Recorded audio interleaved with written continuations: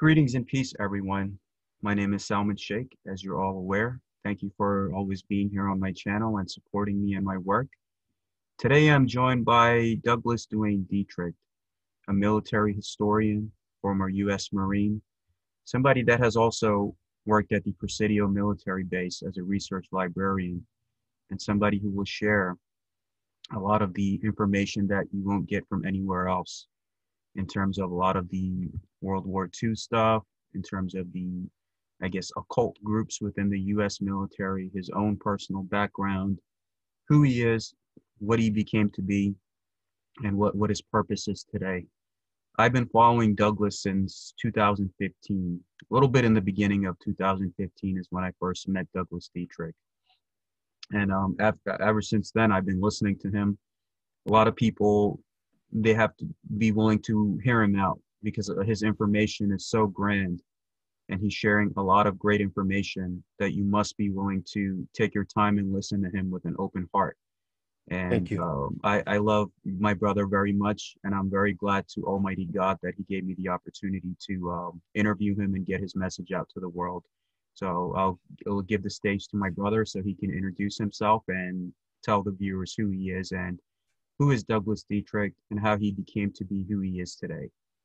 Bless you. Uh, I hope you can hear me, Brother Solomon. Yes, my brother. Assalamu alaikum.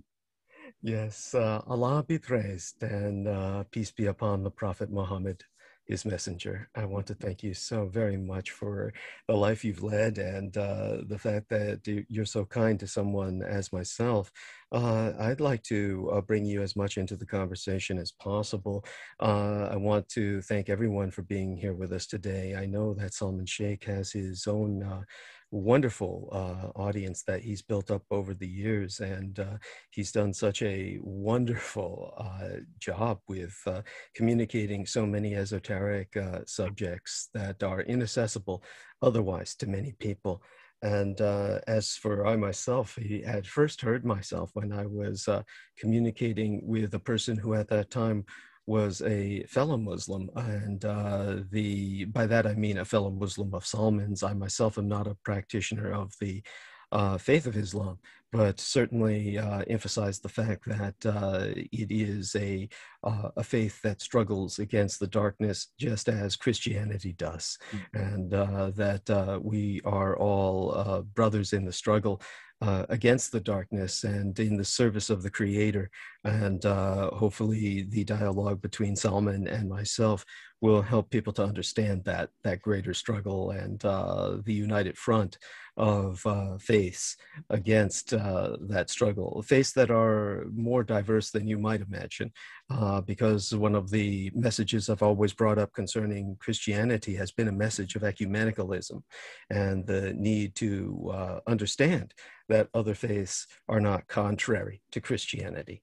So, uh, in the case of uh, Salman Sheikh, when he first heard myself, was when I was talking about uh, the persecution of Muslims in England. And uh, so it was around that time when I was disambiguating how the English understand uh, the different Asian cultures. Uh, and they have, because of their colonial and imperialist past, a bit more of a nuanced uh, perspective on Asians uh, in disambiguation from Orientals. These are still, we have to understand, uh, controversial terms, but uh, they have an understanding that there's a nuanced difference, or quite uh, quite how would I say pronounced differences between South Asians and Far East Asians, yeah. and that's something Americans don't even grasp uh, because Americans to them we're simply all Asians are all foreigners. And uh, with that in mind, because I made that disambiguation, and perhaps because I was talking about the gangs that needed to be formed in self defense of these uh, communities in England, uh, London, and other areas outside of uh, London, there are many, uh, you'd call them uh, Asia towns or little Orients that have ethnic enclaving. And uh, so people have to defend themselves against attacks from uh, many extremists, uh, the right wing neo nationalists that have uh, taken to scapegoating them. And uh, they are, of course, a very dynamic uh, part of the English economy, which would be much the poorer without them. So we're dealing with this auto-destructive nativism in many places on either side of the Atlantic. And uh, when I spoke of those issues, I believe is when um, Salman Sheikh began to understand that I knew what I was talking about. Yeah. And perhaps you can give us some details on exactly what it was that I'm trying to remember. Oh, I think it was at that time where when I first came across you, it was uh, talking about the grooming gangs, where a lot of the um, Pakistanis, I guess, were involved in uh, grooming scandals in terms of um, uh, the women and the girls in England. It's especially, uh, I guess, uh, targeting Caucasian girls, and it was uh, the aspect of the grooming gangs. And that's when I listened to you and uh, I realized that this man is speaking the truth. What he's saying, I'm not finding any truth anywhere else. Everyone else is either gatekeeping or they're not really fully explaining the truth, defending Islam. And the way that you defend everything and the way that I've heard you throughout the years across these different subjects, I know that there's a reason why the enemy has always been after you. And then there's a reason why everyone of a good conscience and good spirit needs to back you in your endeavors and get your voice out there to humanity. Thank you. I deeply appreciate that. And uh, in, in, terms of the uh, scandals which you speak, and it's very important that uh, you have the courage uh, to face that because uh, we all need to come to grips with the fact that whatever culture that uh, we are familiar with, whatever culture we identify with. Obviously, uh, there there is a there are going to be negatives. And in terms of uh, what I presented at first when I was introducing that topic, and we don't need to make this the, uh, of course, thematic of today's interview, but it's yeah, important yeah. to go into this at least to a degree uh, when uh, w- what our uh, brother Solomon has just had the courage to uh, confront, and he did then, was the fact that one of the things I was bringing up was there is political correctness as well. I was speaking about the uh, the right wing uh, radicalization that has led to violence uh, against Asians, and that, of course, is what's on my mind foremost because it is impacting Asians in America right now profoundly, and and yeah. to a degree, Asians in uh, in England because of the COVID 19 affiliation that is connected between uh, the disease and Asians and uh, the kind of propagandization that has led to them being scapegoated. But at that time, uh, and this goes in cycles. Uh, the what was what was needed in terms of exposure was the left wing and very politically correct uh, need to uh, turn certain minority groups into saints, and uh, there are those among any culture who are not. So, in the case of what I believe was Rotherham, it was uh, either Rotherham or Rotherham. I don't remember the exact pronunciation of the town you know, some research could be done concerning these grooming gangs, but I'm not quite sure that's the term that was used at the time. But the one thing that I do remember very distinctly was that uh, we were in a situation where many of these people who were of Pakistani descent, simply because England had colonized all of South Asia, the Raj, uh, from uh, what today would be Pakistan through to Burma. And mm. therefore, um, after the collapse of their empire, then what happened was that many people uh, were um, coming to England who needed shelter from the collapse of the Raj. And uh, so they developed their own communities. And the end result was that these uh, communities uh, ended up victimizing some local Caucasians, in this case, mainly the woman.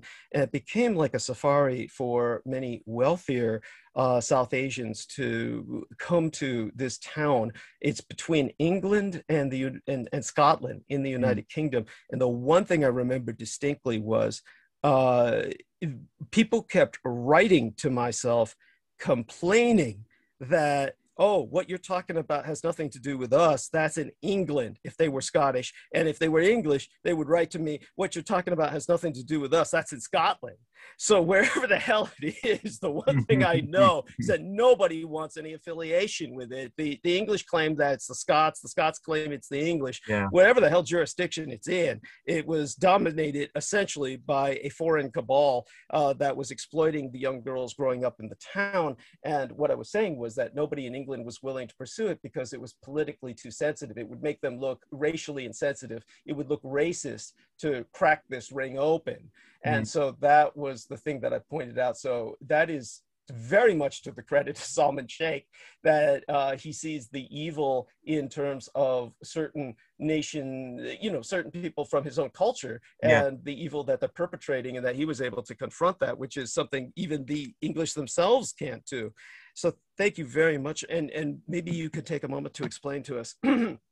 that there are in every culture people who may identify with it in on the surface, but they're really not practicing its its virtues. And the, this is the problem that all cultures deal with. Uh, these these are uh, people who are not uh, practicing Islam. They're not practicing uh, any form of spirituality. These are just lustful, uh, very, uh, very, uh, they're creatures on the low evolutionary scale in terms yeah. of any sense of uh, empathy for their fellow humans.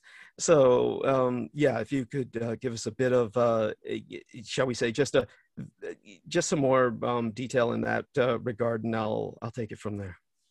Yes, brother Douglas, thank you for that. And yes, that's the reality, my brother, is that the aspect and the fight between good and evil, or light and dark, as many say, exists in all races, religions, countries, groups, and species of this earth and beyond.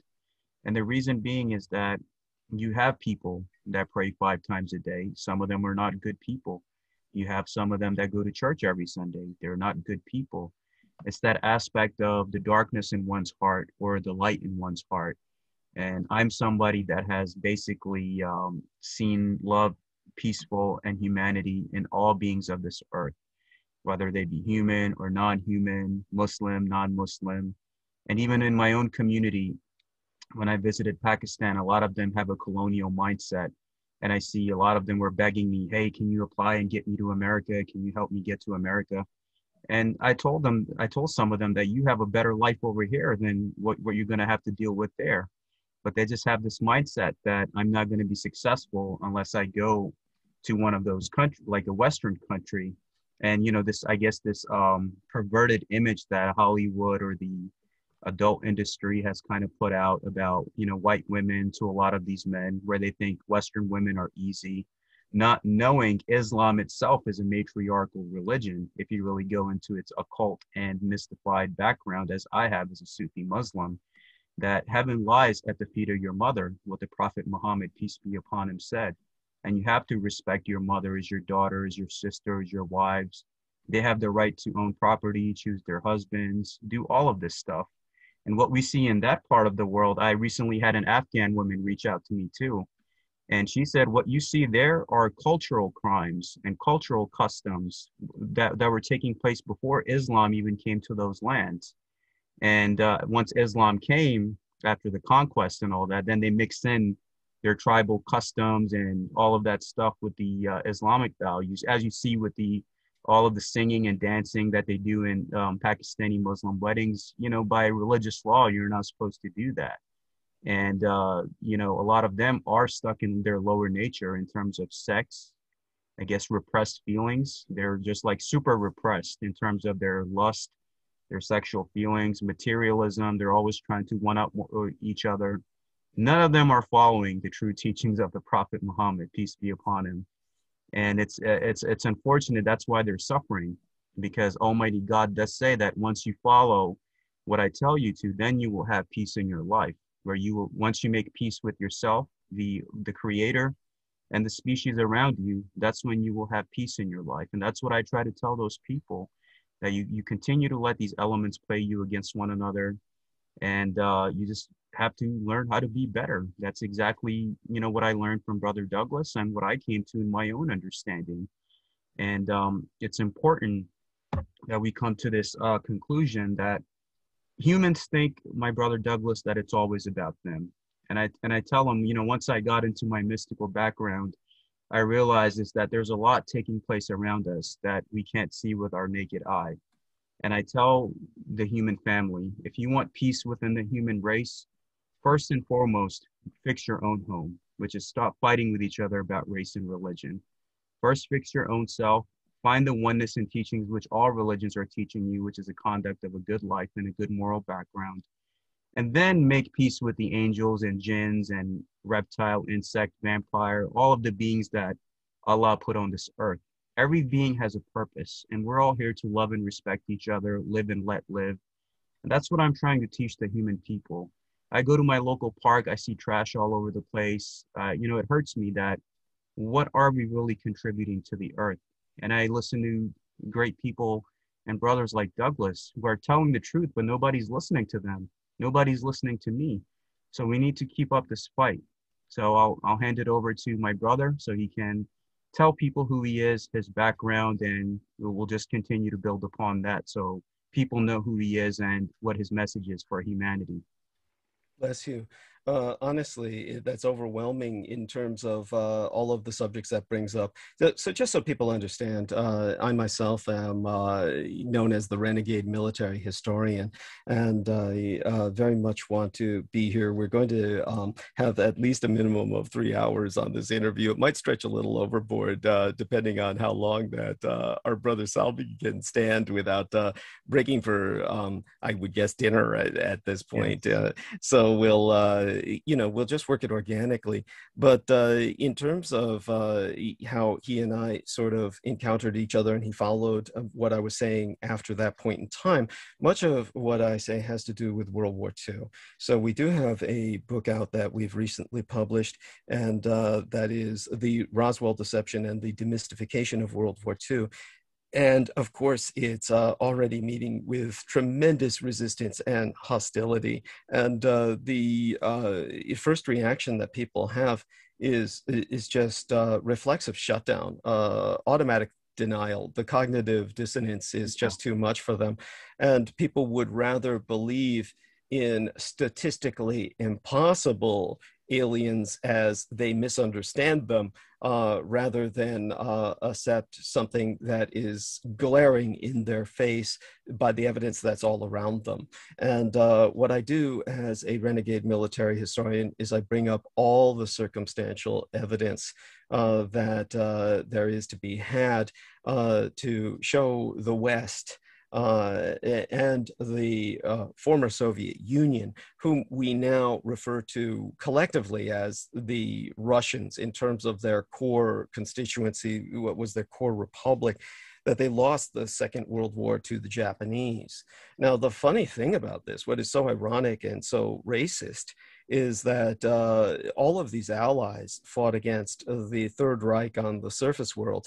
Uh, and uh, they basically uh, have been insisting for years that somehow, quote unquote, the Nazis, and I hate to use that term because it has become nothing more than a slur. Uh, so when I refer to the Nazis, you'll hear me tend, you'll, you'll hear me tend to use terms like the National Socialists simply because that's less triggering. That has a less triggering effect because people have been indoctrinated uh, to the extent where they react reflexively without thought. And the way that they react is through unconditional hatred. Now, um, in terms of where we're at, that's medievalist thinking. And to put this into some perspective for our listeners so they understand how we are truly in a new dark age, a dark age that was introduced by the Allies uh, on this earth, despite the fact that they lost the war. W- losing a war and winning a war, uh, contrary to what you might think, uh, doesn't necessarily put you suddenly in a position of power or disempowerment to the degree that you might believe. A good example is today is Confederate Memorial Day in some states, and uh, the Confederate States of America, while uh, militarily, uh, quote unquote, having lost the war, mm-hmm. ultimately won the peace and they won the peace simply by extending many of the uh, uh, racially suppressive laws of the Deep South throughout all of the United States during the Jim Crow era and ultimately leaving us with the legacy of what we're still dealing with today in wake of the Derek Chauvin uh, trial. And uh, so, if um, you don't understand that history, I'll cover it briefly later tonight. Uh, you, you, know, later in this arc of narrative, we'll try and limit it to, say, for instance, when I'm on alone and a monologue, or with I'm I'm with Team Dietrich uh, on my own um, Skype uh, communicated program, and I say that as just a little, uh, just just having a little fun there because we had some difficulties with Zoom with getting on this yeah. afternoon. I'm just so old. The Zoom is, of course, got its own issues compared to Skype. But um, my point is with that, um, that when it comes to the complications of, say, for instance, North versus South in the American Civil War, and how one side may have been able to claim military victory based on many uh, obvious factors, the so called vanquished uh, was never vanquished and ultimately managed to triumph in the imposition of its culture over the rest of America. And uh, for those of you, it, it, just to say it quaintly, in the more nuanced aspects, of uh, the popularity of the South in America, everything from Elvis Presley to the Dukes of Hazzard, uh, these these were very Southern tropes and cultural perspectives that were popularly uh, disseminated throughout the United States, including the Beverly Hillbillies, uh, where there were episodes where they waved the Confederate States flag. By the way, I'm not what what I'm saying here is not uh, where I'm bemoaning this or or or saying that this isn't this terrible. I'm simply stating a fact that the call the culture of the South managed to impose itself through NASCAR and various other sports and yes. and popular and popular uh, entertainment onto uh, the America in one sense and that was to normalize that served to help normalize its uh, more sinister aspects, the more racially suppressive aspects like gerrymandering and vote suppression in many other ways. So there we are. So th- that's just kind of an example there, barely touching the surface.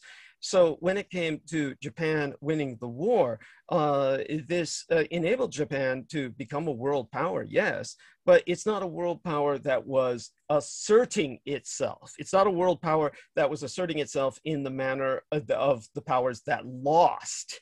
Uh, so when it came to the powers that lost, uh, they were essentially uh, operating on uh, the level of trying to spread themselves like a cancer in order to try and prove to their own population bases that they had won. And uh, so, if that sounds like, oh gosh, this is incredibly convoluted and it's rationalizing, you know, let me explain to a degree, and uh, and and I'll bring it up in such a uh, manner that uh, you can understand, uh, and I'll do that uh, as quickly as I can. But right now, except this being uh, the major challenge, we are uh, basically uh, talking about the fact that the Japanese won the war, mm. but what the West was more willing to accept was this concept that the Nazis had somehow won. And this has began to permeate more and more the alternative rightist or the radicalized conspiracy subculture mm-hmm. until it's almost like a given that when you're entering uh, the uh, conspiracy, the subculture, you run across this basic concept.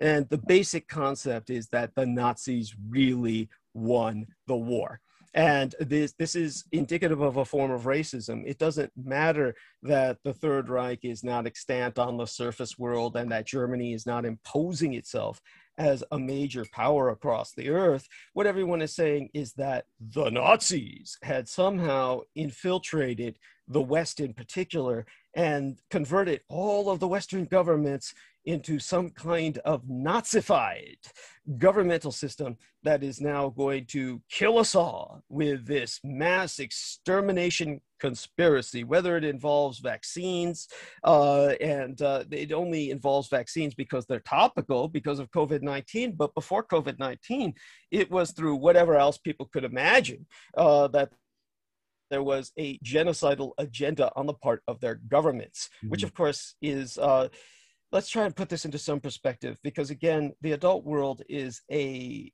it's a giant playground of the mind. There are a million shades of gray that the psychotic mind cannot deal with.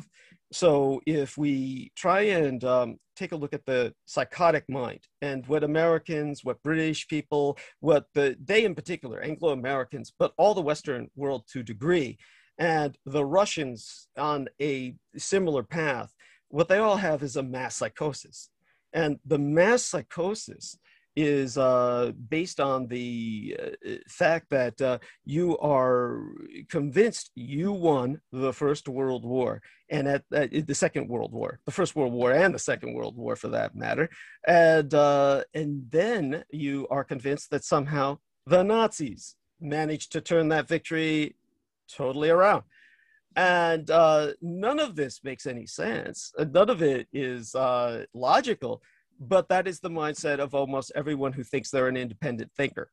And so this racism entails the rationalization of, say, for instance, information that I released uh, long ago while I was a Department of Defense research librarian. And so, for those of you who don't know that about myself, I worked for almost 10 years as a Department of Defense research librarian. And uh, obviously, this is a situation we're going to have some problems with because even when people go to Amazon to check out the book, uh, The Roswell Deception, uh, then they're going to notice that my biography is not up there. Only my co author's uh, biography is up there. And uh, so when uh, it comes to this kind of difficulty of people understanding me, uh, the point is that nothing is put out there about myself. And when you look up anything about myself, chances are you'll probably find uh, attacks against my character. Mm-hmm. And uh, these attacks against my character are relentless and they're incessant and uh, they are completely twisted and warped from any reality out of context. And uh, their intention is simply to render myself, quote unquote, literally unbelievable. And uh, the very attack on the source of information is all that the people who want to keep you in ignorance have. Yes. All they can do is attack the source of information rather than, than the information uh, itself. And to give you an example of Japan's power after World War II, it was a very soft but decisive power, uh, power that they decided that they were going to impose only when it mattered. And probably the best example of this was through a female scientist that guaranteed you've never heard of, and who she saved the world. To give you an example about this Japanese female scientist who saved the world that you've never fucking heard of, uh, you had the Americans and the Soviets trying to prove that the bomb won the war. And when they tried to prove that the bomb won the war after World War II, and bear in mind, the uh, Americans are going through various rationalizations at this point in history, whereas for decades, for generations, they were trying to convince their own people that they won World War II against Japan with the bomb. Mm. Then they've changed it recently, where if you look this up, you will find out what I'm saying is true. All of their academics, their intelligentsia, are revisioning and reimagining, literally in a fantastical sense. They're reinterpreting the war, the Second World War, where the Russians won everything. And you will hear this constantly amongst Americans because America is without culture. It has no culture of its own. And because it has no culture of its own, being essentially a displaced culture, all of its actions in history are a reenactment of cultural echoes. And I'm going to bring this back to the Nazis, to the Japanese. Mm. But today, being a historical expert that I am. And this isn't an avocation. This isn't a hobby. I was a professional historian as a librarian for the Department of Defense. Understand, I know of what I speak because I did the research by which commissioned officers could write their papers, their theses, so they could enter these papers for promotion. So when officers were promoted from one rank to another, I was the man who they bribed, who they paid to write their papers for promotion in terms of historical thesis. So I was the man who got them promoted. I'm the man who made men generals. I'm the man who gave them historical information they would never otherwise have. And as a research librarian who did that, understand they never understood the context of any of this. They wanted, I want a term paper, so to speak. These are basically term papers. And in the military, they're called like promotional prospectus. So you take one of these things, and the officer says, Oh, I'm going to prove how America really performed, uh, shall we say, uh, moderately well, or even stellar professionalism, as they would want to say, in terms of its combat performance in Vietnam. And I would write that paper for them, presenting the facts in such a way that they could sell that and they would get promoted on the basis of that. So, in other words, I'm propagandizing for them. I'm revisioning history into a selling point that enables them to get promoted. They don't need to be telling the truth. They're trying to make what they're selling about their interpretation of history make it look as if they would be fit for promotion, which is important for you to understand because then you finally understand that all commissioned officers in the United States military are politicians in uniform. This has nothing to do with military performance. This has nothing to do with professionalism in some kind of operational sense. These are men who are selling a historical fantasy to each other to the point where they've reinforced that fantasy among each other to the point where they believe it. And these people are now as misled and as deluded as you.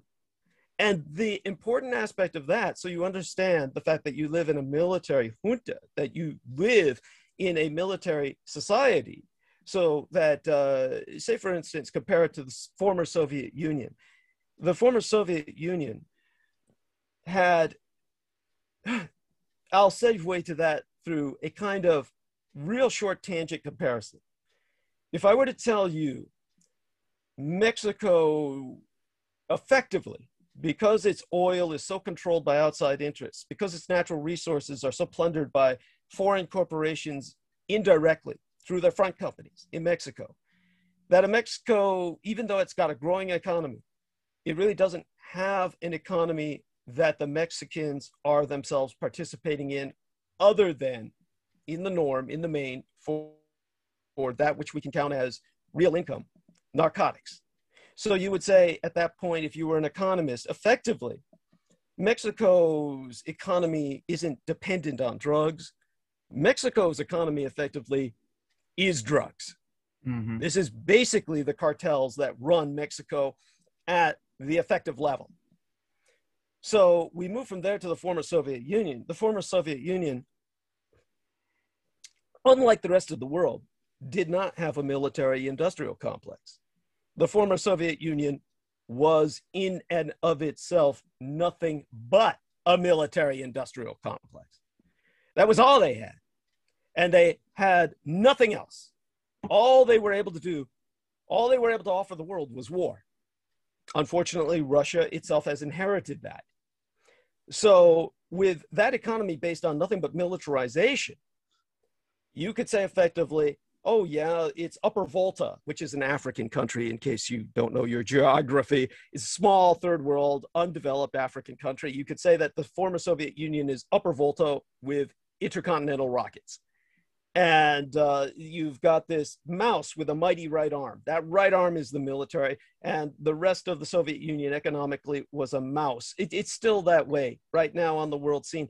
And the Russians, having outlined their situation, come back to America and its military industrial complex, and you can argue, well, we are not a military industrial complex in the sense the Soviet Union was. We simply have one that's very powerful and takes up a lot of space literally over half your fucking economy, then you would have to acknowledge what does that mean when someone is a commissioned officer as opposed to a non-commissioned officer?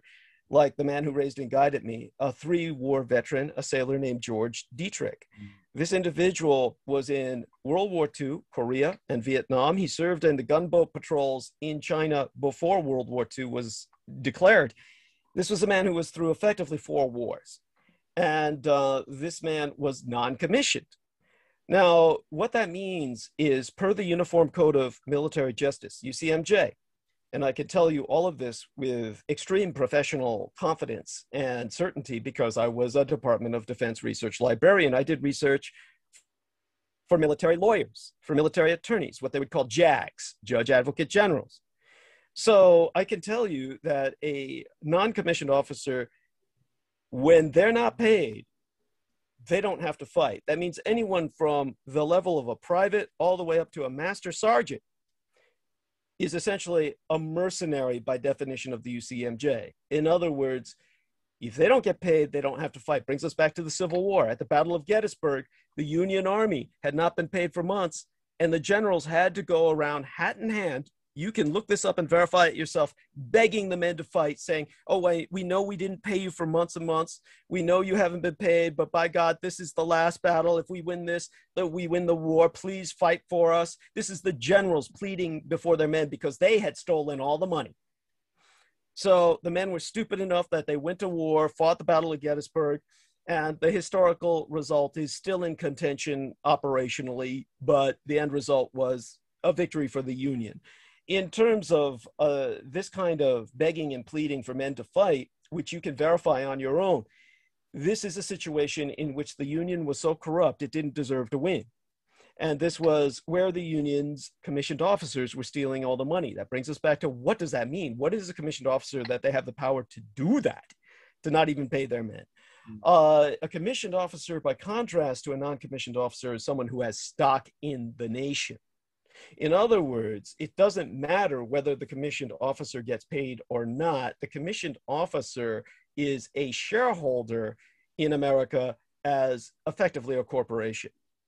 Even though this was a construct well before we came to these models of social existence, the founding fathers were elitist. These were white slave owners, these were plantation owners. And these founding fathers, with their slaves and their plantations, were an entirely different species than the peasants, as they would have called them in Europe, which were basically the normal American citizens working on the farm who constituted their militias. So when the founding fathers said, oh, we can't run this war for independence, which lasted eight years, to try and put this into perspective for you, in terms of a legally declared war with a definable commencement point and end point. That eight year war was longer than World War II by the popular American definition, which was half that amount of time. So the Iraq conflict, the Vietnam conflict, none of these were declared wars. So, in terms of declared wars, as is conservatively and conventionally understood, the American Revolutionary War was the longest declared war in American history. So you had this incredibly long revolutionary insurgency in which the founding fathers said, we've got to get these peasants to fight for us. So they had to not only have these peasants become militia like the Viet Cong, they had to have a regular standing army. And so they create their own People's Army of Vietnam. That's the difference between the communist regular forces with armored columns with tanks and mechanized units that overran Saigon in 1975, and the difference between the Vietnam that were fighting the Americans all the way up through the Tet Offensive. So these were the irregulars, the insurgents, the militia, as the Americans would manifest them. And the regular army is what we have today that has nothing to do with militia and is antithetical to militia in every way. That is what the founding fathers were trying to get started. And to get it started so, that they could keep the peasants forever separate from the nobility, the plantation owners, the slave owners, they developed the non commissioned versus the commissioned officer system. So the non commissioned officers, no matter what, the end result is you're not committed to America. You're simply paid to fight. If you're not paid to fight, you don't have to fight. That is the Uniform Code of Military Justice. Whereas the officers, you have no choice. You are committed to America, the United States, rather, the constitutional entity, the constitutional republic, as you've invested your family. This is why officers' children become officers and they have dynasties of officers in America. So these officers are, they own stock in the nation. And as stockholders in the nation, they run your nation. Your nation is effectively a military junta. There are many other nuances to this I could go into historically, but that should give you the basic point. And because of this, they are invested in telling you lies about how they won World War II. And World War II is the basis for their taking all of your money. The overwhelming majority of the American budget goes to the American military, and it's all based on the big lie they won World War II, and the big lie they won World War One, in the sense that uh, you don't understand how World War One even ended. Most people don't understand how World War One ended. Here's here's an example of your average American misunderstanding of war itself. Like if I say, "Oh, look, um, there's a war and that's held someplace and uh, how do you conceive the end or the beginning of a war as popularly understood your average person is going to say well that's when nations are invaded and people lose their country if they lose so well then what happened in world war one when germany was never invaded nobody invaded germany in world war one and yet everybody says oh the americans won the war but they never dwell on it. They never dwell on it. They never say, well, how was the war won? What happened?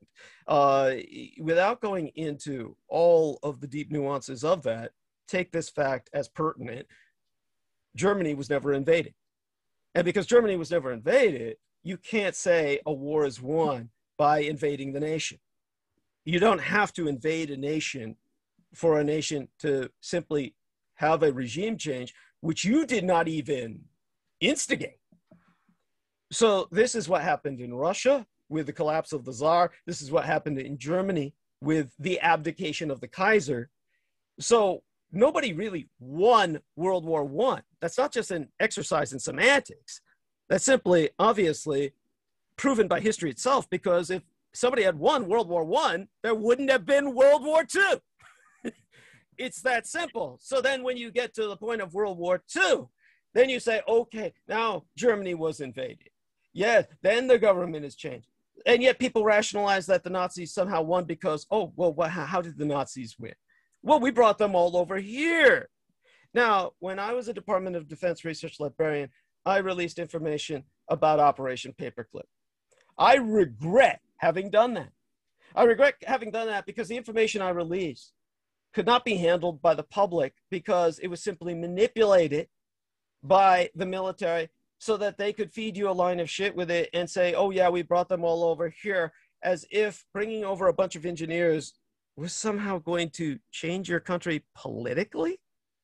That's like saying, oh, look, we got a bunch of, uh, you know, Pakistanis who are working with computers in England, and that's why the British are all Muslim.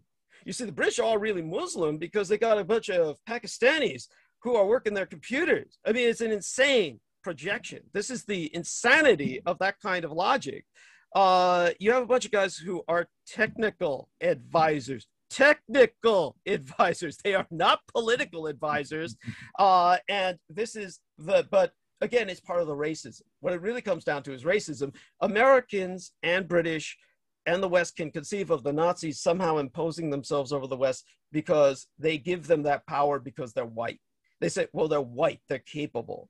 But with the Asians, because they can't imagine Asians coming over here and somehow doing anything, then they say that, oh, well, we had to have defeated them. And yet, throughout the 80s, people might remember that everyone was complaining about the Japanese buying up everything in the United States. So that was before, of course, uh, Salman was born, and uh, which is just, you know, mind blowing to me. But uh, so he doesn't actually remember that, but he could easily look that up. Oh, that was an enormous fear in that decade before he was born. Mm. But in terms of the Japanese and um, their winning of the war, to give you an example of soft power, when it comes to Americans, because they're not military experts, they will say that uh, Americans lost the Vietnam War. And they will say that as if it's fact. They would just say, oh, the Vietnamese defeated America in Vietnam. Now, that never happened. And what you had was a political withdrawal of American forces. And uh, whereas in World War II, they'll say somehow the Americans won World War II against the Japanese. Let me try and put this into some perspective for you, for those of you who are who are historically ignorant. When you have something like World War II, most people forget, and they call it the Forgotten War. There was this peninsular conflict called the Korean War, and people tend to forget it because it is still ongoing. North Korea and South Korea are still legally at war with each other. And therefore, Americans might say, if they looked at that conflict, they might say, okay, it was a tie. So somehow America won World War II against the Japanese, uh, went into some kind of tie on the Korean conflict, and then lost Vietnam. And the whole logic of this, while still maintaining a military with nuclear power, uh, almost complete dominance of the air, is beyond preposterous. It's like literally impossible for you to even entertain this contradiction, and yet all Americans do. Well, to try and put this back into some perspective for you, when the Americans were in Vietnam, they were occupying Vietnam and they were fighting Vietnamese. When the Americans were in Korea, they were occupying Korea and they were fighting Koreans, mm-hmm. as well as the communist Chinese who entered the conflict. When the Americans were occupying Japan, they were fighting the Japanese. Only the Japanese were on mainland China. Mm. And so on mainland China is where the Japanese had installed over 90% of their military. Over 90% of their military remained there for years. Uh, specifically speaking, half a decade.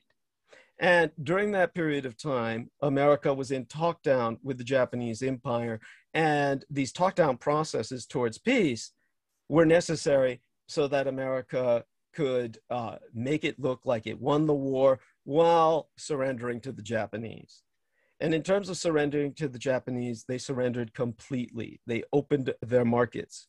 And in the first speech delivered by President Harry Truman on national television, and you can look this up, you can do the research yourself, uh, the first nationally televised broadcast in human history was Harry Truman saying that we are at peace with Japan. That was in 1952, 1953. It was right after the conclusion of the Japanese American Peace Treaty becoming effective. For those of you who don't know, there is a San Francisco Peace Treaty that was signed between Japan and the Anglo American powers. It was never signed by the Soviet Union. The Soviet Union has been superseded by the new Russian Empire, which is still legally at war with Japan. They're in the same position with Japan that North and South Korea are in. Japan and Russia today are at war.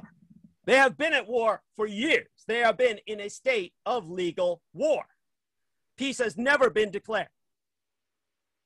For those of you who don't know. So, when the intelligentsia, the academia, tries to convince you it wasn't the bombs that won World War II, it was Stalin. It was the Russians who won World War II. They invaded Manchuria and took the Japanese out of the war. They're trying to impose upon the Russians all the mystical power that Americans used to imbue upon the atomic bomb. And because the Americans have no culture of their own, they're always searching for a master race. They're mm. always searching for a culture that they can believe in. And originally, and the establishment of the state of Israel in 1948, which Harry Truman voted to recognize and recognized Israel just hours before Joseph Stalin did in a race to the bottom, they both, Stalin and Truman, were in a race to recognize Israel, and Truman got there first. Basically, that became the culture which Protestant evangelical Americans began to worship. You had this Protestant evangelical worship of Israel. That means Christ is coming back. That means the apocalypse is coming. Israel is on earth again. Israel's on the map. This means that the end days are coming. And therefore, Americans had this fervent religious worship of the Jewish people of Israel in particular as if they were the master race. And that echoed upon Jews in America, this kind of respect for them. And this is why, when you see films like Joan of Arc. When Joan of Arc was released in theaters, you had this Serbian woman uh, who's playing Joan of Arc that was released in the theaters in the 1990s. And you have, I believe it was Dustin Hoffman, this old Jewish guy playing God. And this is how Americans envision God. He's Jewish. That is, to them, that's God. It's got to be God. This is so to them, the Jews are the relatives of the boss. They're they're his blood relations, and therefore, uh, we they're basically most Americans effectively do not follow Christ. They worship the Jew. That is the most important point that they had going for years, and it manipulated, it motivated their entire foreign policy. All of that has changed, even though Trump did the unthinkable and recognized Jerusalem as the capital of Israel, which no one had ever done. And so people understand this. If you were to look up in a dictionary like the Encyclopedia Britannica or any kind of dictionary, the capital of Israel, you'll find, oh, Jerusalem, Jerusalem.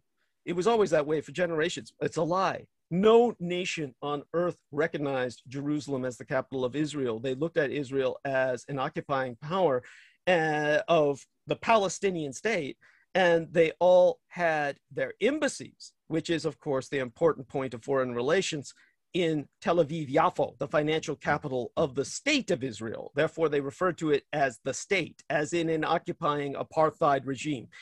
And yet, when Trump said, okay, we're going to end that and we're going to move it to Jerusalem, our embassy. They did something no other nation dared to do. Now, you might say, oh, this is great and it's revolutionary. No, it's simply he's following this old reactionary white evangelical agenda that he finally realized in his presidency, but it's well behind the rest of the world because it's well behind his own public because now his radicalized right wing base no longer looks to the Jewish people as the end all be all, they look to the Russians. Their main sponsorship comes from Russia. Their main hero is Vladimir Putin, whom Trump is simply an extension of. So once you see the world in that reality, which it is, that is the reality that people may spend all their time denying. And the more Trump denies it, the more he uh, verifies it. Uh, if there were no Russia issue, he wouldn't need to even dwell on it but he dwells on it himself, which exposes the reality of the Russian issue. He is a puppet of Vladimir Putin and uh, will be running again in the near future as such. Now, in terms of that being said, that being out of the way, the end result is this is why the right wing has mobilized behind Russia, is because the academia and the elite, which once was propagandizing for the Soviet Union, in the early days of the 60s, the 70s, academia was infamously left wing, supported by the Soviet Union. Professors would visit the Soviet Union. Professors were right wing. Those same professors now are saying Russia won World War II. These are now radicalized to the right instead of the left. The, Russia is still behind it. They've simply changed the end of the political spectrum from which they're operating this is where we're at now. So once we've gotten that out of the way, then you get to the point of soft power. When it comes to Harry Truman's speech, it was centered on the San Francisco Peace Treaty, which was signed in um, 1952 and 1951. It was signed in September of 1951 and it went into effect in April on the birthday of Emperor Hirohito across the ID line, across the international date line, whereas here it would have been his birthday eve day on the 28th of April, 29th of April, depending on which side of the international date line you're on in 1952. So you have a peace treaty, which you can look up, the San Francisco Peace Treaty, which was signed in 1951 in September, went into effect in April of 1952. And so it took years of talk downs to get to that peace treaty being signed. When it was signed, Harry Truman got on national television, the first time any president ever went on national television. The first television broadcast that was ever a national broadcast was Harry Truman effectively surrendering to the Japanese, saying we are peace with Japan, and uh, effectively saying our markets are open to them. At that point, American industry began to die. And everything about their automobiles to their chemical industries like Kodak began to be run into the ground by the Japanese, who had far higher technology and produced digital cameras to overtake everything that was chemical camera oriented that the Americans were producing in upstate New York where of course my father came from so that's a, a particular point to myself but it's a particular point to all of you uh, is that kodak camera company uh, eastman kodak used to be the source for how you held your memories in the world for how you recorded your family experiences. Yes. All of that ended and everything became digitized based on Japanese technology. So around that time, the Japanese took over. Now that's easy to relate, and everybody who's older than Salman Sheikh remembers that. But uh, in terms of what we have with the situation concerning, say, for instance, an exercise of that soft power. If you want a demonstration of it, here was America and the Soviet Union in particular, but also uh, the British and the French and they're all blowing up these bombs. They're all uh, conducting above ground nuclear testing. All of these people were just blowing up bombs uh, with impunity, with abandon. And it was all over the Pacific, all over Eurasia, that they were blowing ever more powerful hydrogen bombs. Uh, and so they were trying to convince everyone they had won the war. They were trying to convince everyone that uh, it was the bomb power that did it, that we bombed Japan and therefore forced them to surrender. And therefore the power is the bomb. And we have the power. And therefore, uh, you know, it's a self reinforcing fantasy. Well, what happened was a Japanese scientist named Katsuko Saruhashi, who was female, uh, basically proved that what they were doing would end with the annihilation of all mankind because all of the radiation was being absorbed in the ocean. She was someone who, like Emperor Hirohito, studied the sea and she was the first woman to receive a PhD in chemistry in Japan. Her work focused on measuring the molecules in seawater, like carbon dioxide, oxygen, and also radioactive molecules like cesium 137. Now, just 12 years before she received her PhD, but she was already a scientist, during wartime, the United States had dropped the atomic bombs.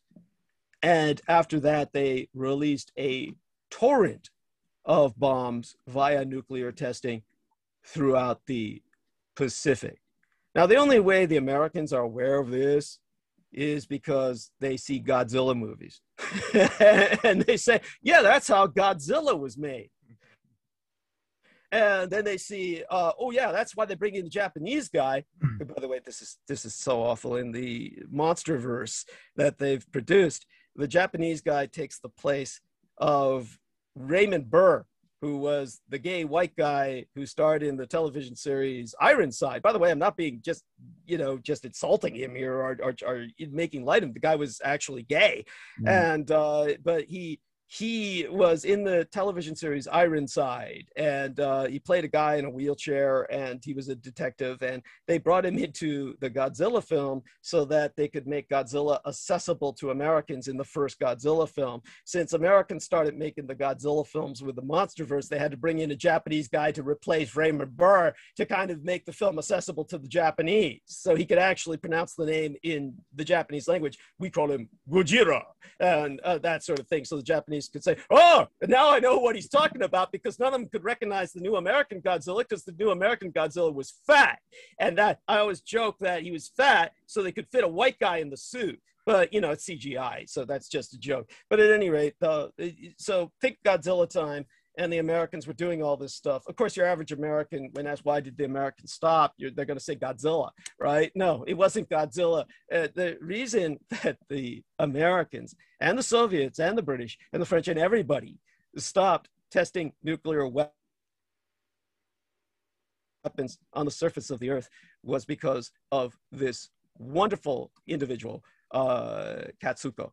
And uh, when it comes to uh, the uh, Japanese uh, scientist uh, Katsuku, Katsuko, excuse me, Saruhashi, mm-hmm.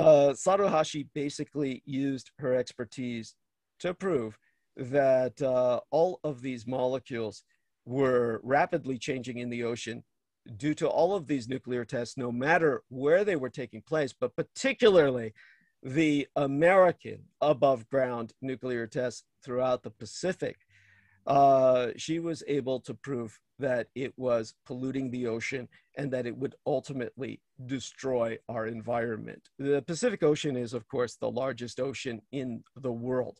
Uh, and so when it comes to damaging the uh, Pacific Ocean with, with contamination, uh, by 1958, the United States had exploded 67 nuclear devices around the Marshall Islands alone.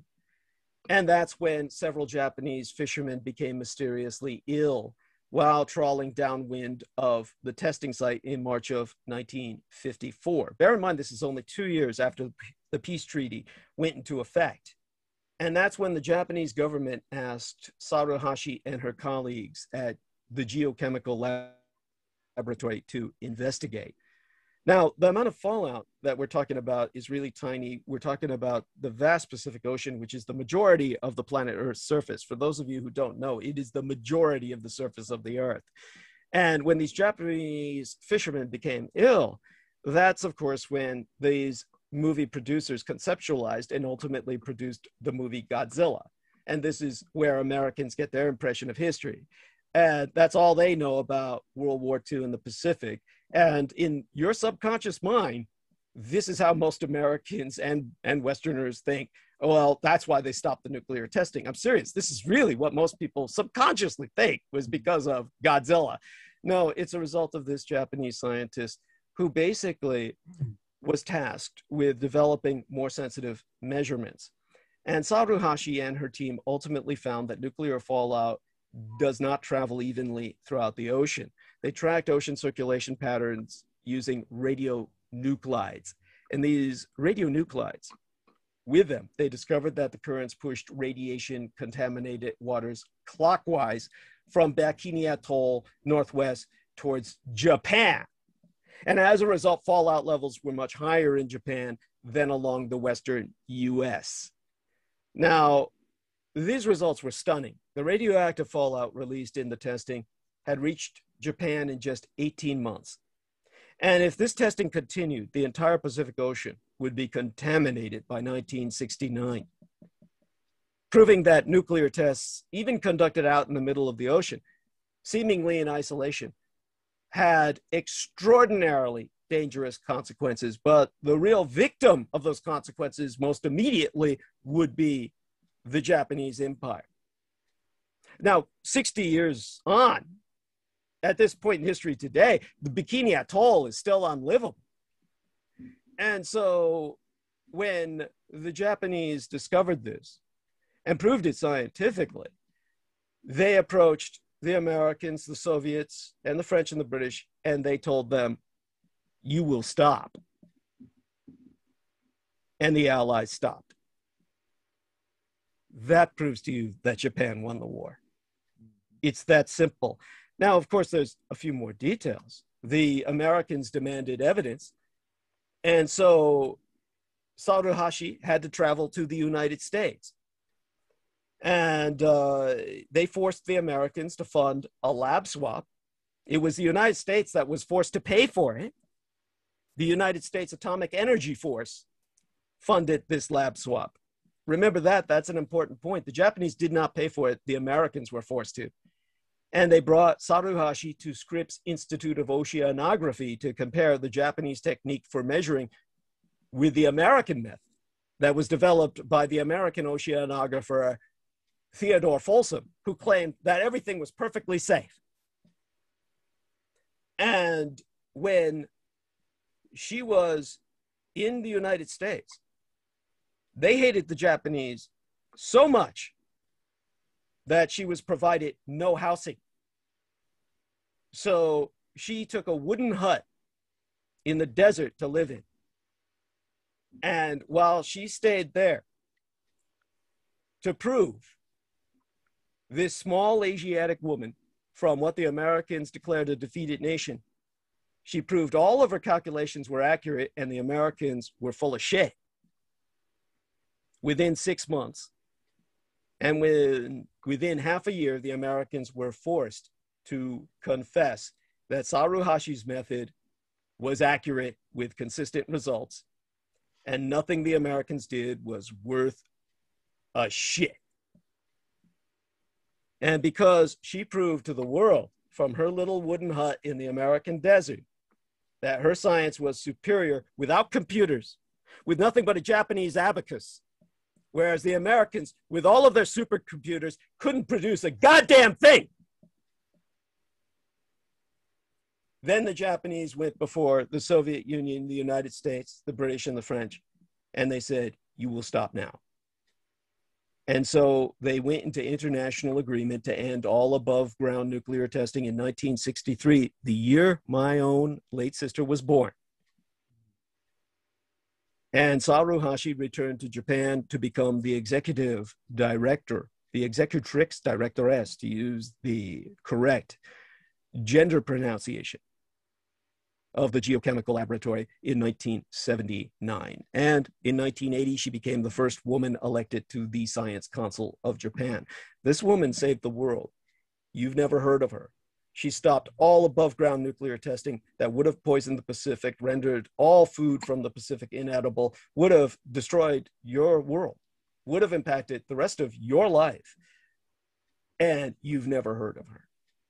But now you know the Japanese won the war and there's so many other facts besides that but that's just one of these salient points so you have all of these realities and you can't say oh it's common sense uh, the americans stopped this to uh, be, to preserve themselves because it's of benefit to all humanity. You can't say that because the americans were in total denial. They fought it every step of the way. The only reason they had to surrender was because the japanese were in charge not because the, the Americans, all they would have to do is cover everything up. They could have just said, "Oh, look, um, some crazy woman from a defeated nation is living in a cabin in the desert." Yeah, the Americans did their best to do just that, but in the end, the Japanese had more power. This is an example of soft power. Japan won the war and is not imposing itself because it had to do what it had to do in World War II. All the way up to and including the brutality to impose itself in order to force the Allies to surrender. Once that was done, they imposed themselves with soft power. There was no need to apply the force they had applied in World War II because that force had always accomplished, already accomplished what they intended. That alone should bring you to a new perspective on your world. So when we come to this kind of realization, and just one among many, uh, understand we couldn't get all of this in the book The Roswell Deception and the Demystification of World War II.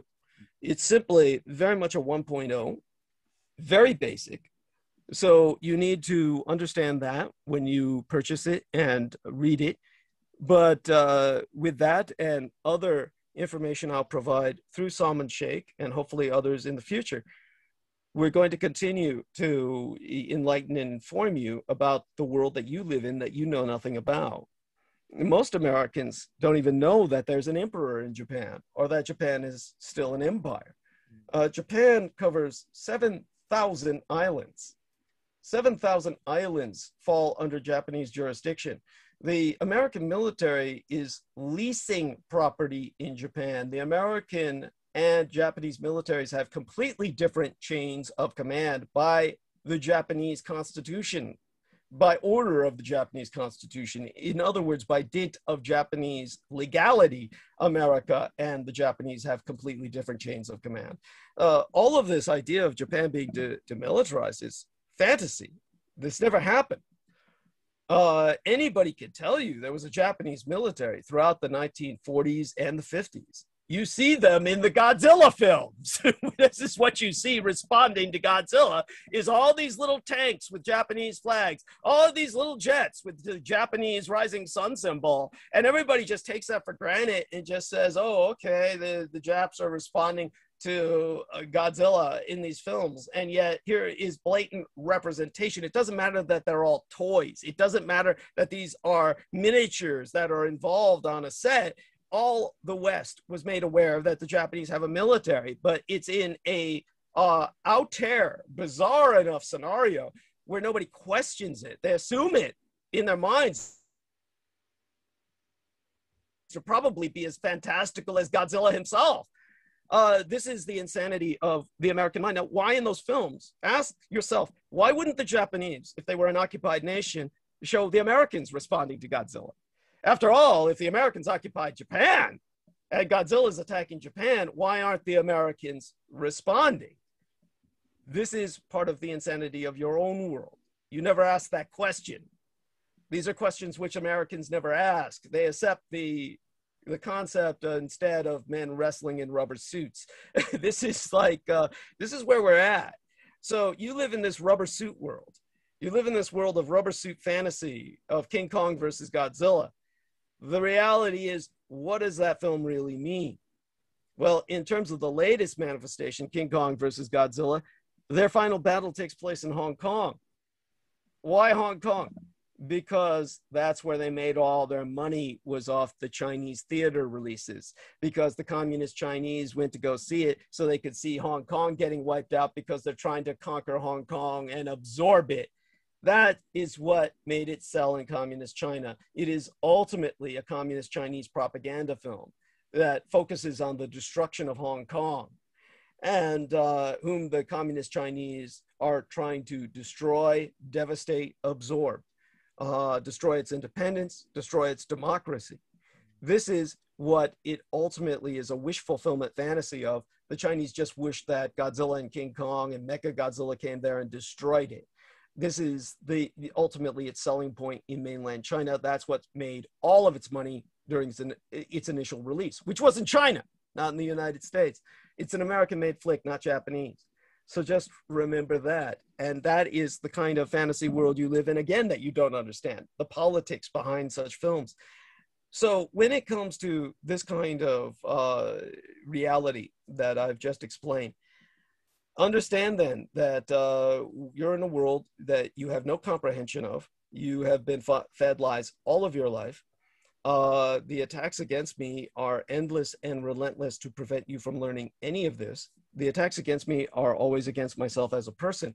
Yes. There's nothing they can say about the information I release unless they take it out of context, which is the only way they can try and attack it is to tell you some little piece of it without telling you the context and hmm. everything out of context is meaningless the uh, the concept of the bombs that i just explained most americans don't understand they had no effect on the japanese war effort mm.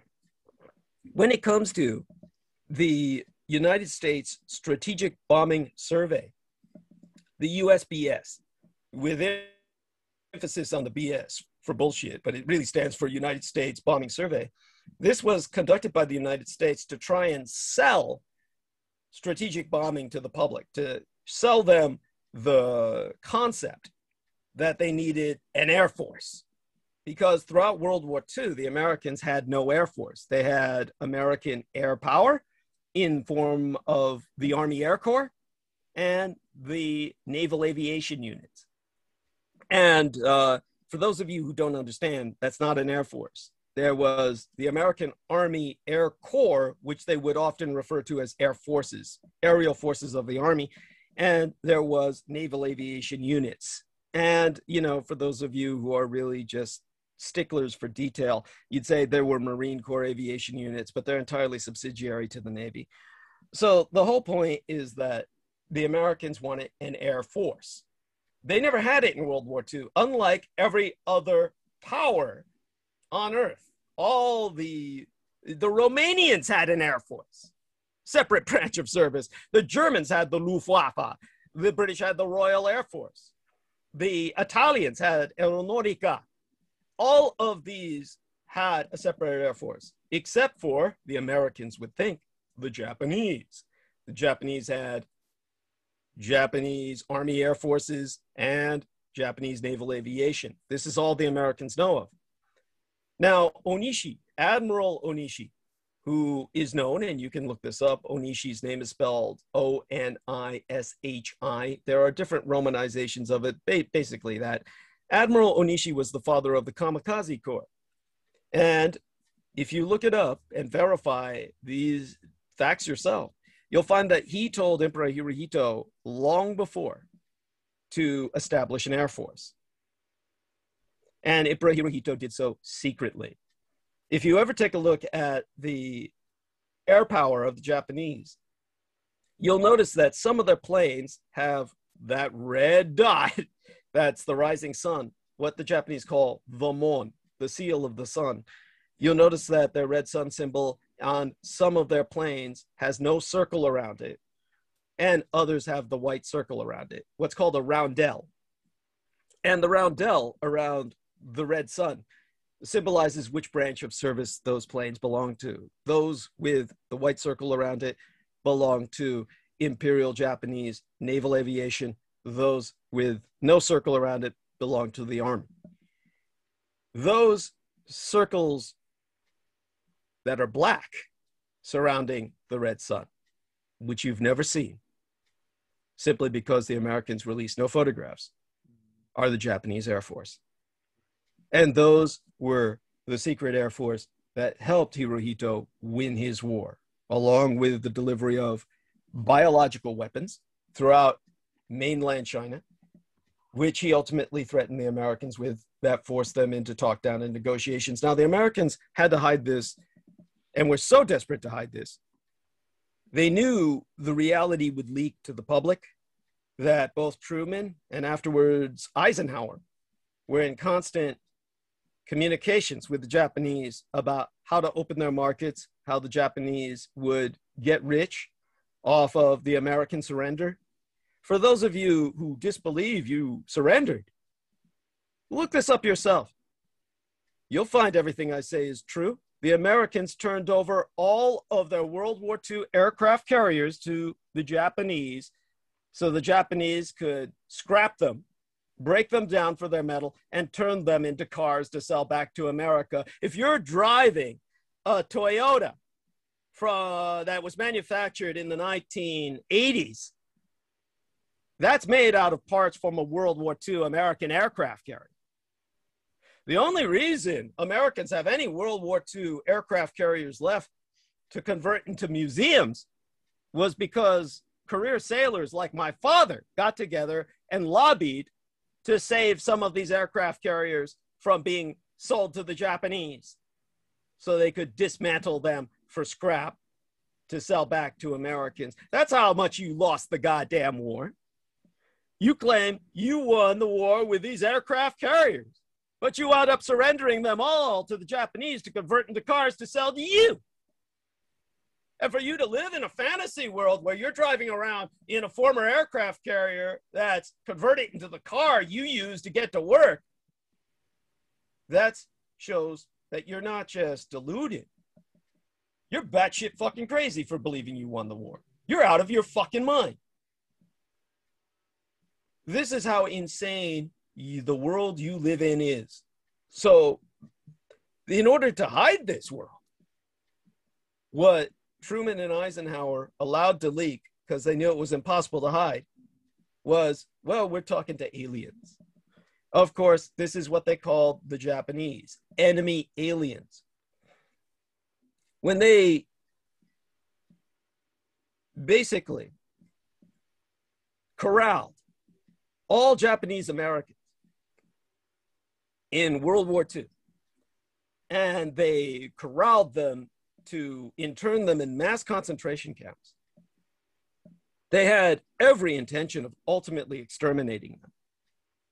The only reason they didn't is because the Americans lost the war and Emperor Hirohito demanded their release. That's why the peace treaty of San Francisco was signed at the Presidio military base of San Francisco, where I worked was because Emperor Hirohito wanted it signed there because that was where the executive order had been signed into effect by Franklin Delano Roosevelt in order to intern the Japanese in America. So this was the same reason that Adolf Hitler forced the French to surrender to him in the same locomotive cabin, the same train car in which the Germans had been forced to sign the Versailles Diktat, the surrender of the peace treaty of Versailles in World War I. So when Hitler turned it around and said, now the French will surrender to us in this train cabin, that made a political point. The ability to turn history on its head, the way Hitler did, made him God in Germany. Emperor Hirohito simply reinforced his divinity status when he forced the Americans to sign the Japanese peace treaty, their peace treaty with Japan in Presidio, the same place where they had signed the orders for Japanese internment. So when the Americans did what they did, they called all Japanese enemy aliens. They were stripped of their citizenship. They were robbed of all their property all of their real estate, all of their finances were stolen by the OAP, the Office of Alien Property. And the Office of Alien Property, which stole the property of all foreigners who were deemed to be enemy aliens, whether they were German or Italian or Japanese the OAP was responsible for taking everything they had. And when it comes to the enemies of America, don't forget that Europe, as well as Japan, Germany as well as Japan, had allies throughout Europe and Asia. You'll get the impression, completely false, that Japan fought World War II in Asia all by itself. When in reality, all the emperors of Asia united behind Japan in a united front. You can look up a man named Yuan Shikai, first name spelled Y U A N. His very name in Chinese means money. You've heard of the Chinese dollar, the yuan, traded on the international market, Y U A N. This warlord, Generalissimo Yuan Shikai, he became the first ethnic Chinese emperor to rule China after hundreds of years of dominations by the foreign Mongolians and Manchurians, who are not ethnically Chinese, the Mongol and Manchu dynasties. His heirs, his descendants, allied with Japan. The Emperor Bao Dai of Vietnam, who fought French colonization allied with Japan. Emperor Puyi, who was ethnically Manchurian, allied with Japan. All of these emperors of Asia, including the King of Thailand, allied with Japan. In Europe, many Axis satellite states abounded from Croatia to Bulgaria, Romania, to the Baltic littoral states of Latvia, Lithuania, Estonia, to massive European nations in Eastern Europe like Belarus or White Russia and Ukraine, all allied with the Third Reich. You can look up this fact yourself throughout the Cold War. Both Belarus and Ukraine retained separate seats on the United Nations after World War II as part of the Germans forcing the Soviets into accepting a semi autonomy for those nations that are now independent and fighting the Russians today.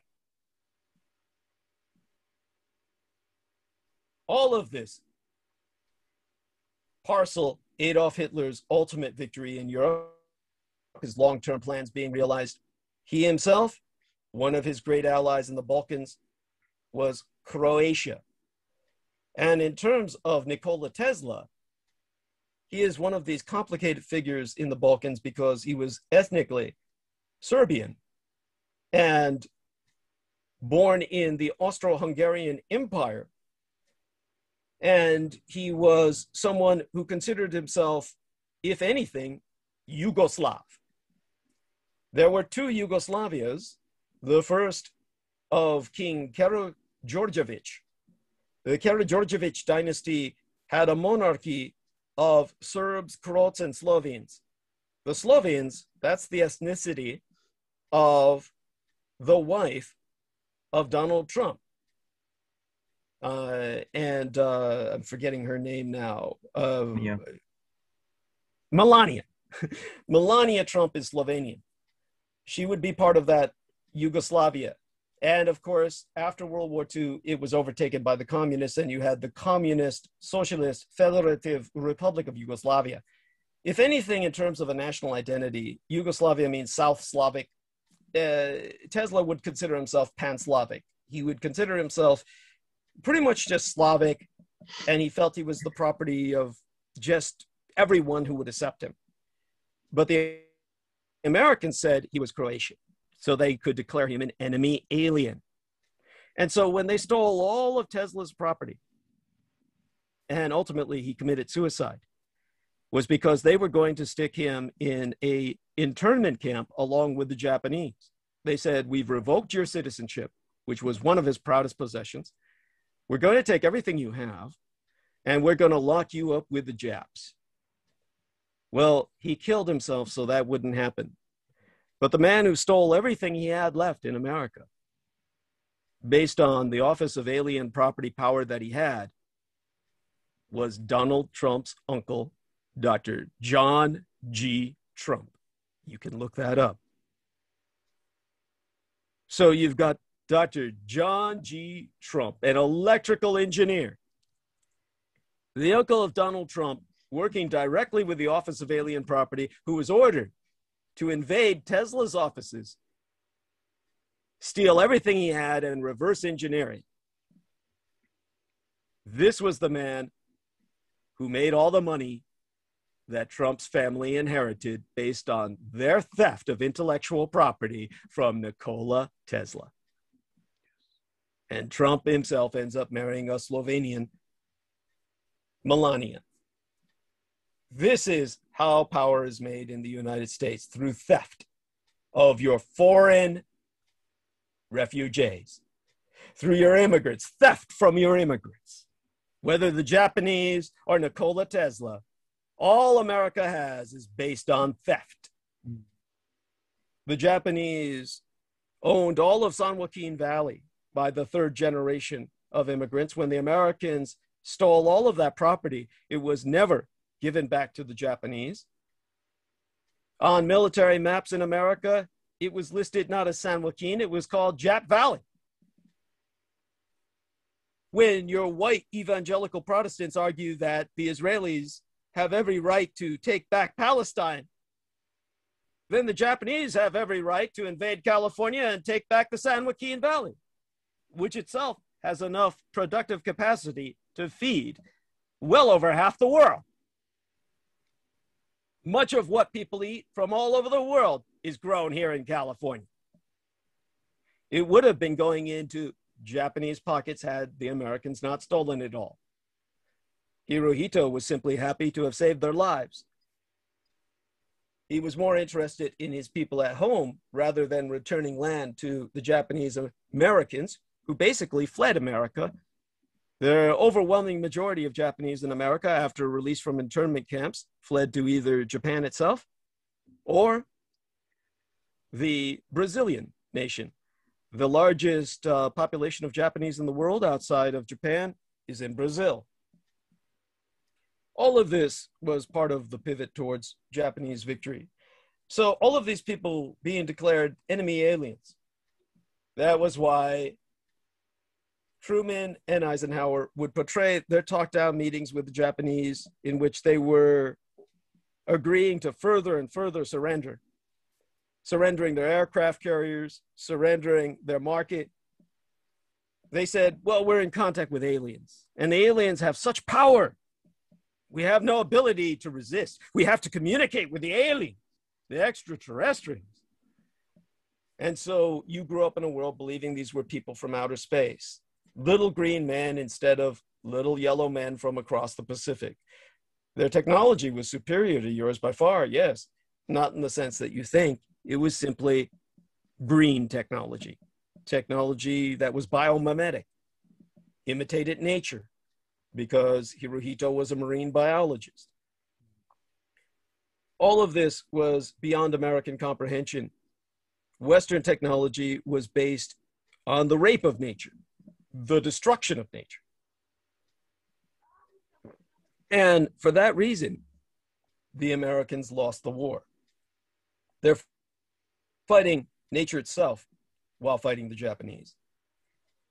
This is why the Japanese were able to take advantage of nature, the black current and the kuroshiwa, the wind from Japan towards North America, which only blows in one direction to launch their thousands of balloon bombs, which set the Pacific Northwest aflame and would have burned it to the ground had the war continued for one more year,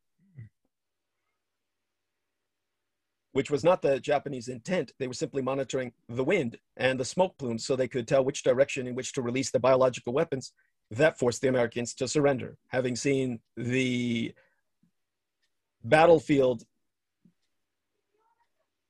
effectiveness of these weapons when deployed in China. You might ask, why didn't all of China die? The Japanese kept very tight control of where they released their biological weapons and were able to contain the outbreaks they initiated very effectively by simply shooting anyone who would leave the area. This is why they were known to be so brutal. And this, of course, prevented everyone from dying. Their brutality had a reason. There was a method to their madness. They did what they did to eliminate entire Chinese armies in the field. There's no other way a small nation like Japan could defeat a nation of a billion people.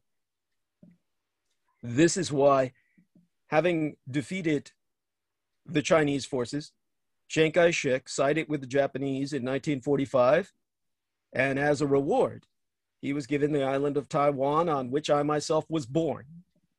That is why the Nationalist Republic of China escaped the mainland and relocated to the island of Taiwan, which was part of Japan for over a hundred years. Yet you never hear of any American invasion of Taiwan to take it from the Japanese. It was simply given by the Japanese to the nationalist Chinese in return for allowing the Japanese forces to stay on the mainland until the Americans signed the peace treaty and effectively surrendered. There's your World War II in a nutshell. Understand this then, while you were occupying Japan, you were fighting the Japanese just as you were fighting the Koreans while occupying Korea, and fighting Vietnam while occupying, you know, fighting the Vietnamese while occupying Vietnam. This is the same pattern throughout Asia. Once you see it in that context, you can understand more of what happened in a way that is meaningful to you. Now, sometimes it might seem like I'm insulting, or sometimes it might seem as if I'm being abrasive. There's no other way to wake you up. This is a world in which you've been under delusion for so long that the only way you can accept the reality is to receive some shocks. This is a shock of reality. I think that I've given enough of a baseline uh, for the situation on which we're working. But you might ask yourself, okay, so say you you you say what you've said. Let's put that into perspective for something like Russia. Russia's obviously still at war with Japan, so now you know automatically that if Russia and Japan are still in a legal state of war, something which you can look up yourself and verify, how is it that anyone can say the Russians won the war against Japan? It obviously puts that into the perspective of a lie. So when you see these academics and these PhDs, these doctors in your intelligentsia telling you it wasn't the bomb that knocked the Japanese out of the war, it was Stalin, and they're still pushing this Russian solution. This is all part of the radicalized right wing agenda that Vladimir Putin pushes so that you now worship the Russians as the master race instead of the Israelis. This is what America has devolved into. And uh, until you wake up, you're going to be continued to be influenced by the Russians. They influenced America throughout World War II, where the Americans allied with Russia against Germany and Japan and paid the ultimate price for it. And uh, the idea, of course, that uh, the concentration of all forces on Germany, when the Americans said a Germany first policy in terms of their enemy objective, and uh, their desire was to wipe out the Third Reich before they quote unquote turned to Japan. This is based on the same racism that enables most Americans to rationalize the fantasy that somehow after that the Nazis took over the surface world. And uh, the preposterous nature, however, of this kind of situation brings us to a place like Britain, where we started the conversation, where Salman Sheikh himself became aware of me because I was dis- discussing rape in Rotherham and just so people understand what we were talking about, basically, there there were always enough grim tidings from around the world that the news from Rotherham, which is just a faded English industrial town, was located, never made the news. But it was where at least and this is what we know only through the reported stories. There must have been hundreds, thousands more that were never reported, but we know for a fact at least 1,400 girls, 1,400 girls, all white and working class, were raped by gangs of Pakistani men while the local authorities did nothing. So we have to place that into context that uh, it has to have a suitable place of dishonor in our never ending waking nightmare. But for those of you who don't remember, that was the late summer of 2014. So that means that Salman Sheikh started hearing about me way back in 2014. Yes. And, and uh, so, for the sake of the victims, the attention should be paid these girls were gang raped, they were doused with gasoline, they were assaulted in bus stations and alleyways. There was one girl in particular whose case stood out to me who was 12 years old, who brought back bags of her soiled clothes that were covered in sperm and blood as evidence to the police.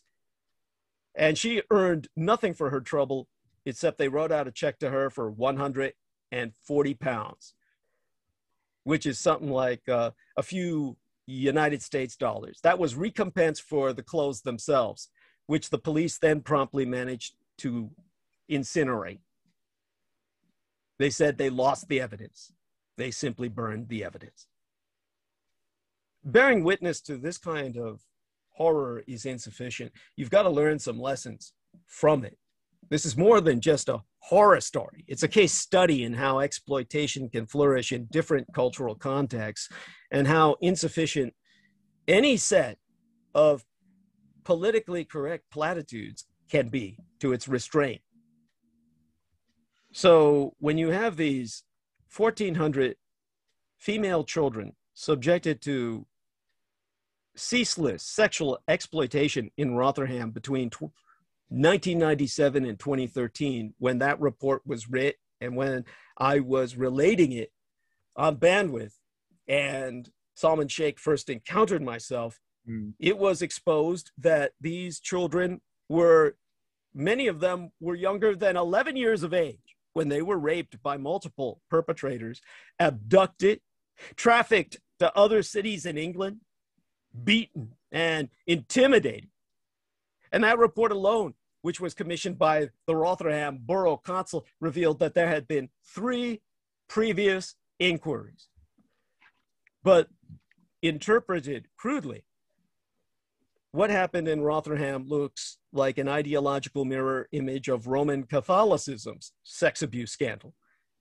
The Catholic crisis vindicates a progressive critique of traditionalism because people on the liberal progressive left side of the political spectrum can say, here are the wages of blind faith and sexual repression. Yet on Rotherham, there was a case study in how a culture of hierarchy and obedience can give criminals free reign just as well as what happened in the Roman Catholic Church, but at the other end of the political spectrum, because it was scripted to vindicate a reactionary critique of liberal multiculturalism. It was there that immigrant gangs exploited a lunatic Western tolerance, where authorities were so committed to diversity that they could not even react appropriately. Indeed, they couldn't react at all. A liberal society so open minded that its brain and conscience had fallen out. But there's commonalities between these two scandals at either end of the political spectrum.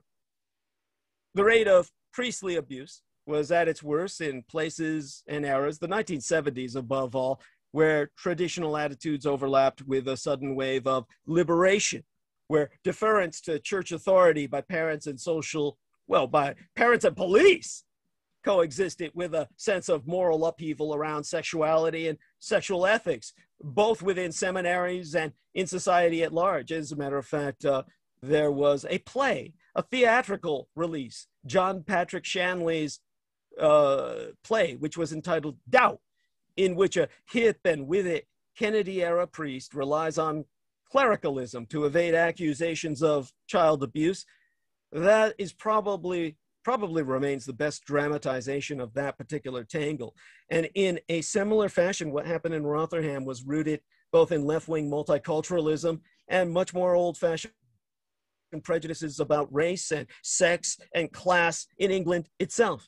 Because the local bureaucracy, even though it was indeed too fearful of being labeled racist, too unwilling as one former member of parliament put it at the time to rock the multicultural community boat, that the rapes went unpunished, but also they went ignored, unacted upon because of Britain's own racially inflected misogyny among their police officers, who, to a man, thought that white girls exploited by immigrant men were tarts hoes. Just sluts who deserved everything they got. And the crucial issue in both scandals isn't some problem that's exclusive to traditionalism or progressivism. Rather, it's the protean nature of power and exploitation, the way that very different forms of willful blindness can combine to frustrate justice. So instead of looking for ideological vindication in these histories. It's better to draw a general lesson. Show me what a culture prizes, what they value, what they put on a pedestal, and I'll tell you who's likely to get away with rape. Hmm. In Catholic Boston, as Salman Sheikh himself knows, having resided there for a time, or Catholic Ireland, that meant the men robed in the vestments of the church in Joe Paterno's pigskin mad happy valley, it meant a beloved football coach. In status conscious education obsessed Manhattan, it meant charismatic teachers at an elite private school. In my own California and Hollywood, well, in fact, in the wider culture industry, which is still the great undiscovered country of sexual exploitation, it means the famous and the talented, from Roman Polanski who raped a young American girl and yet was allowed to return to these United States to open a Holocaust Memorial Museum. And the police dared not arrest him. Oh, but he survived the Holocaust. He deserves to have any young white girl he wants. After all, he's a Jew. He's a relative of the boss. He's God's own by blood.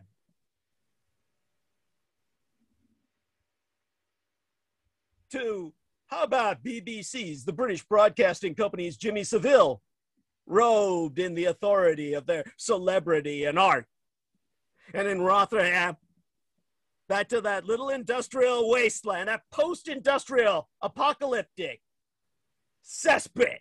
It meant men whose ethnic and religious background made them seem politically untouchable, whose victims belonged to a class that both liberal and conservative elements in British society regard with, well, in terms of the girls, condensation and contempt simply because they're white trash to the braids. The point is that as society changes, as what's held sacred and who's empowered shifts, so do the paths through which evil enters in, the prejudices and blind spots it exploits.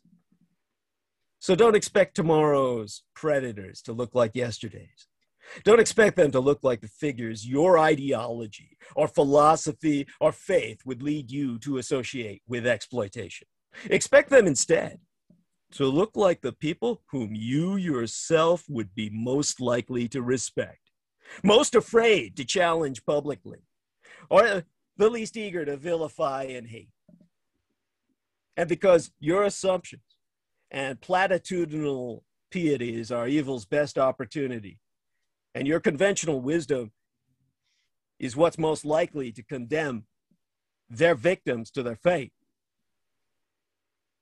we have that sad and sordid history of Rotherham where in that case they allowed an effective foreign invasion to take white women down to the level of the sewer in safaris as if Britain itself were a wild land, a veldt on which white girls were the trophy to be taken. All of this is enough fodder for someone to ask, well, does that mean England lost some war to Pakistan? No, in that case, what is going on in England is what's happening here in America with your military. Whereas the British had, were so desperate to prove themselves multicultural, and they were willing to sacrifice the lower classes because to the Englishman, the lower classes are less human than the foreign Oriental in America, your heroes, your priestly class, your Roman Catholic Church is the American military. And your American military says they won World War II. Your American military has child daycare centers where they were raping children for years. And until I exposed what was going on at the Presidio military base, nothing was ever done about it when people finally listened to what I had to say, they created this military family awareness kind of program and said, oh, the military is the safest place for children now. And that, of course, is uh, best exemplified by this month, the month of April, which, in case you didn't know, is the month of the military child. So here we are. It's also Sexual Assault Awareness Month. Today is Confederate Memorial Day. And amid all of these confluences, I'm here with Salman Sheikh in what is, of course, the month of the military child of all things What does that even fucking mean? If you were to look it up, and you'd find out all about how uh, the U.S. military takes the best care of children, how they're all in these safe daycare centers where nobody's raping them. Well, you can thank myself for all of that. None of this would have come to pass had it not been for Douglas Dietrich releasing what was going down at West Point, what was going down at the Presidio military base to the point where they ultimately had to shut the second most important base in the United States next to the Pentagon itself completely down. This is the world you live in. For those of you who didn't know, during the days that I worked with the Department of Defense, with bases in West Germany and Panama and uh, Okinawa, which is not Japan, by the way. You can look up the fact that Okinawa has got its own flag, its own culture. They're ethnically different from the Japanese. The Americans have a military base there. The Okinawans have been lobbying to get rid of forever. All of these military bases have families. And because of that, they have to have daycare centers. At the time I worked with the Department of Defense, the US military was responsible for caring for a 100,000 children on any given day. A 100,000 children in the hands of the US military. Look back on when I started to expose Michael Aquino, when he had to defend himself on all of the forums of popular culture from Geraldo Rivera to Oprah Winfrey. And as a direct result of my exposing him, his being forced to defend himself and his human trafficking, his denial thereof, mm. by 1989, the United States mm. Congress passed the Military Child Care Act. That act set in motion the Department of Defense's creation of military child development centers that have since been recognized as the national standard bearers of quality for quality of care. With now almost counting all of the services, because when I said the U.S. was carrying for 100,000 a day on all its bases, I was talking only the U.S. Army alone. Today, the U.S. military has 2 million military children to protect. There are 2 million children of U.S. military servicemen and women. 200,000 children in 800 centers, 3,500 family child care homes, about 40,000 employees. Within nine or 10 months after big units return, there's a lot more babies being born an endless source of flesh for the meat factory back in the days of Michael Aquino. The biggest human or trafficking operation in the history of humanity. When I broke down what had happened, what do they call it now?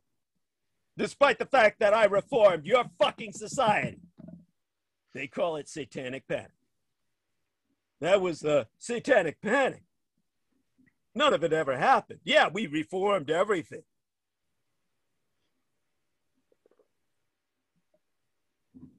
After the Presidio military base was closed down, try and think about this. Stick your thumb up in the air, and your fingernail is San Francisco. Everything beneath your thumbnail is South San Francisco and the rest of the peninsula. San Francisco is congested on your thumbnail. It is the second most congested city in the United States after New York City. And well over 1,450 acres, closer to 1,500 acres. 25% of that thumbnail was the Presidio military base of San Francisco. When I forced the closure of the Presidio military base, San Francisco's economy died. Thousands of jobs were dependent on supplying those soldiers and servicemen. San Francisco would have gone bankrupt if it hadn't been for Silicon Valley. Silicon Valley was just starting up, and it was the immigrants, the refugees from Asia mm. that remade San Francisco. But in the interim, everyone who had lost their jobs blamed me. I was the target, along with my family, of death threats, bomb threats, rape threats, the rest of my life. That's why you have the cultists of the military attacking myself when we release our book. And you see their one star reviews. The only way you can fight them is by purchasing the book giving it the five stars it deserves to fight your military, which has done so much to create all of these damaged children who are incapable of doing anything other than joining the military when they grow up and completing the cycle of violence elsewhere in the world, raping and killing in other countries as they've been doing since World War II. Understand that until Salman Sheikh entered his five star review, you couldn't even purchase my book. Amazon had taken it off the purchasing list. I'll let Salman Sheikh actually tell the story there. Yes, Brother Douglas. Uh, last night I tried to purchase your book, and I myself am somebody who's a published author on Amazon. So I know that the rules of Amazon is if your ratings go down a certain percentage, they take your uh, book, ebook, or paperback off the market.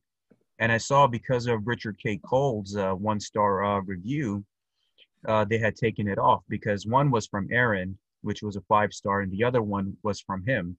So with two reviews with the mathematical percentage, you had gone down under 50%. So they took off your book off the market. So I tried to purchase your book. I was confused, like what's going on? And it only allowed me to read the sample version of it, which was great. And I wanted to purchase the full version so I could read it. And I realized, oh, that's what was going on. So I reported Richard K. Cole's review. I put up my five star review, and uh, there you go. Now you're able to purchase the book because now the percentage is evened out. So any any of my viewers that are listening, search the Roswell Deception on Amazon. Report Richard's comment, which is disgusting because he's a disgusting human being purchase Douglas's book and leave him a five star review because he needs our support and he's our brother. Thank you. I deeply appreciate that. I deeply appreciate what you've done. And remember, it's not for me that you're doing this, it's for the truth. Yes. It's also a struggle against those forces of darkness, which Islam, Christianity, and true practitioners of any faith are struggling against. Mm. Richard K. Cole Jr. is someone who never even completed a full tour of duty in the United States Marine Corps. He never saw a day of combat action.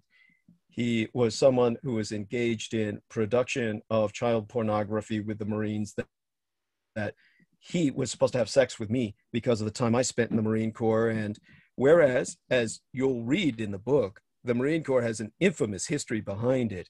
It's being a Marine is nothing to be proud of and uh, and that's just again the tip of the iceberg. When it came to something like the invasion of Okinawa, eighty percent of the invading force died on the beaches. Eighty percent of them never made it onto the island. You can imagine what it would have been like for the Americans if they had tried to invade Japan itself, which they never even attempted. What you have in the case of someone like Richard K. Cole Jr. is the fact that many American militaries developed their own mafias. And when it came to the mafia of the US Army, people might remember there was a man named Robin Moore, and his name's very common. So you have to look up Robin Moore in conjunction with the Green Berets. Mm. But those of you who remember the old John Wayne movie, The Green Berets, which had an enormous amount of problems behind it, you can look up the production hell that that film went through with John Wayne and uh, now a wonderful actor. Uh, I think his name was uh, uh, Jan Vincent or something like that. He was acting right next to John Wayne in that film. He was portraying the investigative journalist, the reporter, and he was portrayed as this liberal left wing kind of reporter for the purpose of dramatic effect uh, in other words, he was not embedded. He was supposed to be a hostile uh, reporter.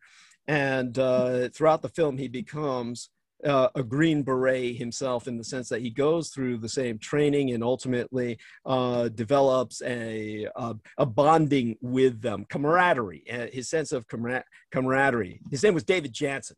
So David Janssen was in that role. And uh, so if you ever take a look at that film, then you, uh, you you might understand if you trace the history of the film that was based on a book that was written in the year before I was born. I was born in 1966. The book about the Green Berets that film was based upon was published in 1965. And that was published by Robin Moore. His surname spelled M O O R E, and uh, first name Robin. And Robin Moore published that book as nonfiction. Now, what's interesting is if you look it up in Wikipedia, they're going to say that that book was a novel, which is just absolutely bizarre. That book was nonfiction, and Robin Moore was no hostile reporter. He was a, an embedded journalist. He went through all the training that the Green Berets did. He was an embedded reporter. He was very much on their side from the beginning. But the point was that Robin Moore himself later changed to become more like the character in the movie was at the beginning of the film. he actually changed his entire political outlook about the military after experiencing the Vietnam War. And the reason why he did this was because he became more and more uh, aware of Michael Aquino, who was serving in the United States Green Berets, along with men like Master Sergeant Michael Ramirez, who was the uncle of Richard Ramirez, the California serial killer known as the Night Stalker. Mm-hmm. These men were both U.S. Army Green Berets. And so, what the author Robin Moore realized was that if he wrote a real book about this phenomenon, he was going to die. These men were going to kill him. So, he wrote a novel called The Khaki Mafia. So the Khaki Mafia was all about the US Army Mafia, but he didn't dare talk about the Satanism or the serial killing in the field. He instead talked about the fact that they were the only thing he realized that would be taken seriously that might be acted upon was to reveal the fact that they were exploiting American hmm. soldiers to smuggle opium back to the United States. In other words, EM or the enlisted men, EM is an acronym for enlisted men, the EM uh, Master Sergeant Wooldridge was in charge of all of the EM clubs throughout Vietnam. These are enlisted men's clubs where the non commissioned officers, men from privates to the sergeant status, would go so they could drink, uh, party, uh, gamble, and enjoy prostitutes. Now, when a woman is willing to sell her body for money, she'll sell information for money just as easily. Mm-hmm. So wherever the EM clubs were established, the hmm. prostitutes would sell all of the information that they picked up from the guys they were fucking and sell it to the communists. And whenever these EM clubs were placed near the front, one of them was established to support the troops, then the communists automatically knew this is where the US Army was advancing.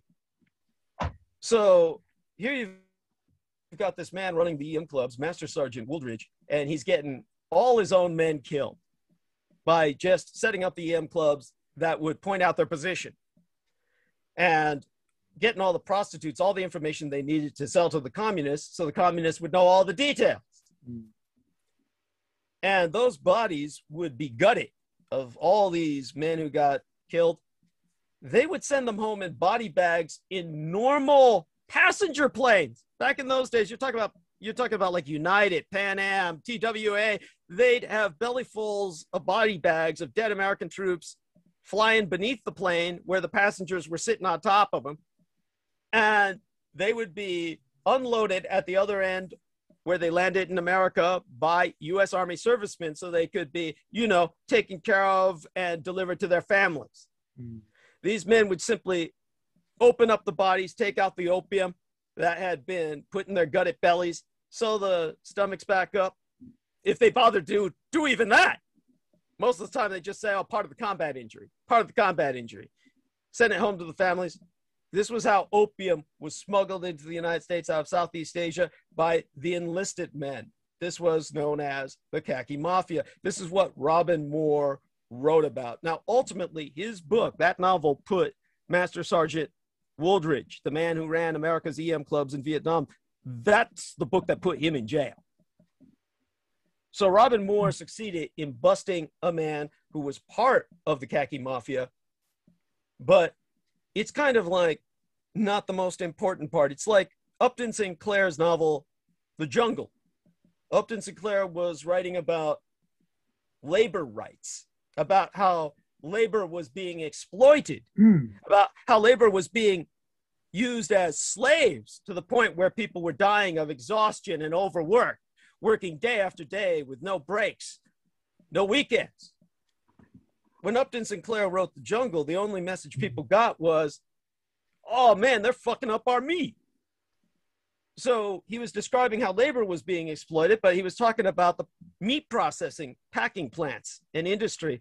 And so he wound up getting a bunch of meat and safety laws railroaded through so that people would be eating more hygienic, more safe meat based on merciful slaughter.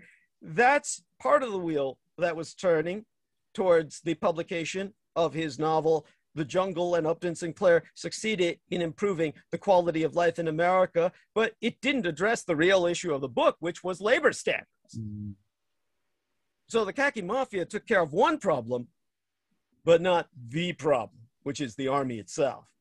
So Robin Moore succeeded in getting one man landed in jail, but he didn't succeed in people understanding the economy of the military mafias.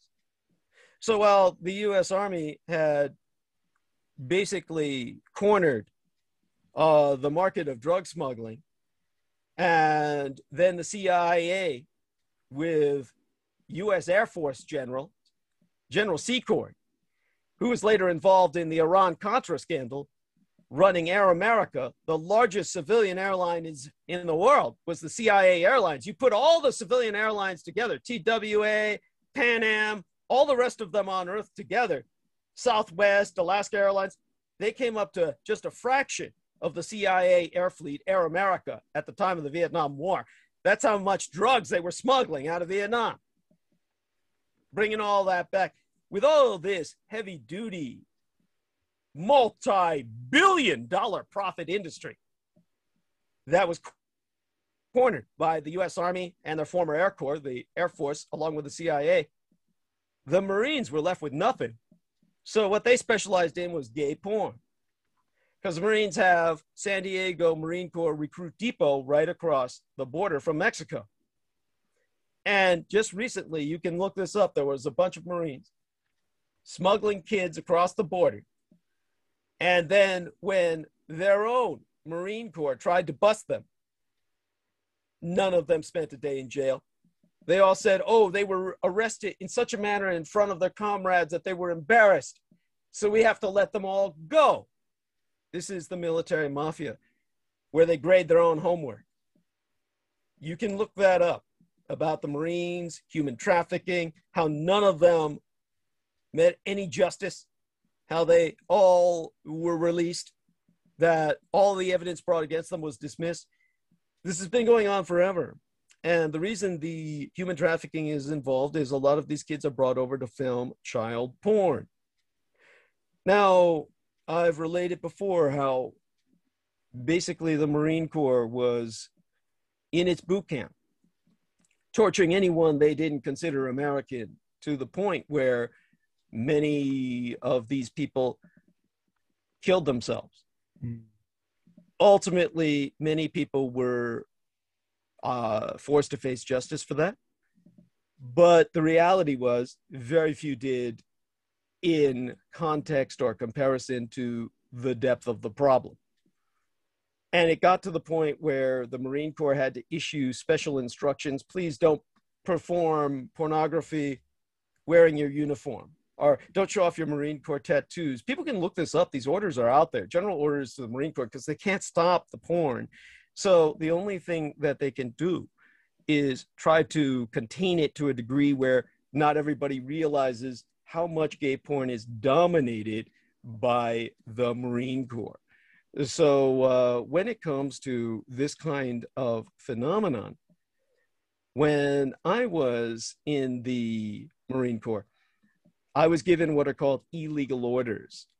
And uh, this was, of course, uh, orders where I was supposed to rendezvous with a man named Richard K. Cole Jr. to film a pornographic film because I was considered very attractive and Asian and effete. I spoke with him once on the telephone because I was supposed to rendezvous with him. After that, everything went down that anybody who's familiar with my case would know, where I was in the House of Saud and wound up in prison for killing two police officers and was headed for execution in the House of Saud itself, beheading specifically. Mm-hmm. In that sense, I owe the Marine Corps for pulling me out of that situation. Uh, they busted myself down by a rank from Lance Corporal to Corporal. After I served in Operation Desert Storm, they simply relieved me of duty uh, in what is called a kangaroo court martial. It was quiet, and um, they did me a favor by getting me out of service. And for that reason, I escaped rendezvousing in San Diego with Richard K. Cole Jr. to film a gay pornographic film. The end result was that he's hated me for life and he's never forgiven me. And he represents, of course, those elements of the American military that are consistently trying to deny everything from their crimes against humanity regarding human trafficking, satanic ritual abuse, to the fact that they lost the Second World War. Yes. Now, um, by the way, are, are you in need of doing something? I, uh, I, I how, how's, how are you for time? Uh, I was just checking in because, of course, uh, I, I thought I saw you communicating with someone off camera. Maybe I was mistaken in that, or are you just kind of checking your environment? Just... Oh, just just checking my environment. You you do what you need to do, my brother, because your message is important. Take all the time that you need to explain oh, no, everything no worries. We've got we've got plenty of time ahead of us in future interviews, and uh, I do want you to appear on my show as well in return. And uh, understand, everyone, that uh, our man uh, Salman Sheikh is a, uh, a, a brother in battle. He is uh, definitely going to be appearing as part of Team Dietrich on my programs whenever he can spare the time. And in terms of what we're explaining here. This is important because it's the name you're going to be seeing, uh, except for other names he takes up as aliases, Richard K. Cole Jr. I'm explaining the context in which his attack is coming from, which is both personal as well as cultic. Uh, he is um, what Michael Aquino called a hitcher. So if people want to understand the psychodynamics behind this, there's a film starring Rutger Hauer that is called The Hitcher. And it's a very specific term because it's not hitchhiker it's an interesting term in the sense that no one ever heard the term the hitcher until that film. And what that film portrays is Rutger Hauer is acting the role of a psychotic, murderous gay man who's homosexually enamored of a young man who he targets and he does everything to destroy this young man's life. He starts a killing spree while framing everything on this young man. And he does this all as basically a homeless hitchhiker. And he's doing this following the young man, tormenting him, costing him his family. He ultimately murders the young man's girlfriend. There's no happy ending to this film. Uh, what satisfaction you gain in the end from the killing of Rutger Hauer is meaningless because the boy is considered responsible uh, for his murders uh, to a great degree and is uh, held as basically the villain by the media. And uh, he's lost his girlfriend and his family and everything else. So this man accomplishes destroying this person's life. This is what Michael Aquino said he developed in Richard K. Cole Jr. He is a hitcher. So this individual's whole life is dedicated to myself. He goes on white supremacist uh, sites, which we have the evidence of because he sends them to me. And uh, basically uh, tries to turn the white supremacists against me to get as many people out to kill me as possible. This is a life or death situation, but everything I've reported to the FBI, they will do nothing about it. This is, of course, because I'm an Asian Pacific Islander American. Uh, understand that when it comes to the Japanese officer Yamashita, who tried to enter the Marine Corps, he never graduated from Quantico as an officer, which I knew I never would. So I entered as an enlisted man he ultimately sued the Marine Corps and he won because he was tortured half to death and had to leave the Marine Corps. And this was because he was Asian. He ultimately won a lawsuit because he became a politician. As an attorney, he became an attorney first, then a politician. He dedicated his life to rehabilitating his name that the Marine Corps had destroyed. In my case, they try to pull the same tactic. They'll claim I was never in all of the documents they present either don't exist or are completely fabricated. Uh, the end result is that uh, you have a situation in which, because let me put it to you this way when it comes to Asian Pacific Islander American murders, you have now the US government, in terms of the Democratic Party, trying to push hmm. through anti Asian hate laws. And the reason that they are forced to push through anti Asian hate laws is because until this point in history, you could murder an Asian, whether an Asian American or an Asian foreigner, and you could get away with that murder. A lot of people simply don't understand that Asian Americans are not considered human beings by dint of the law. You have basically a situation in which it was written into uh, the Constitution of the state of California that Asian Americans were an enemy species to be eliminated because they were carriers of diseases. So when it came to this kind of mentality, that kind of law is not necessarily in the constitution of every state, but it is very much in the American cultural belief system, in its norms. So when you have these incidents where so many Asian Americans are murdered. The white men never spend mm. a day in jail. All of this sources back to that mindset. So, in order to try and put this into some perspective for Americans so they can even begin to understand, you can take a look at uh, various Asian Americans who have been murdered. I believe one man's name was Anthony Chin. And let me see if I can uh, just verify Anthony Chin murder by looking that up just briefly on the web. And uh, Vincent Chin was his name. Now, Vincent Chin was a Chinese American man who was beaten to death in Detroit, Michigan by two white men who had lost their jobs in the American automobile industry because the Japanese won the Second World War. So they decided they were going to kill the Jap.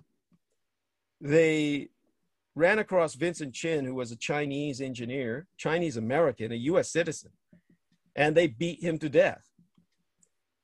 The Americans called them national heroes. They never spent a day in jail. Whereas Vincent Chin died screaming and crying, saying, I'm not Japanese you had a Japanese citizen, a citizen of the Empire of Japan, who visited America, was going to a costume party, and he was shot to death in the state of Louisiana, near New Orleans, in one of the parishes, because he was asking for directions. He was dressed in his Halloween costume, which was not even a particularly offensive costume or a scary monster costume. He was dressed as John Travolta from Saturday Night Fever. So he was dressed in an all white dance outfit. And when he knocked on a man's door to ask for directions, the man shot him. And that man was considered an American hero because he had shot a Jap. He never spent a day in jail.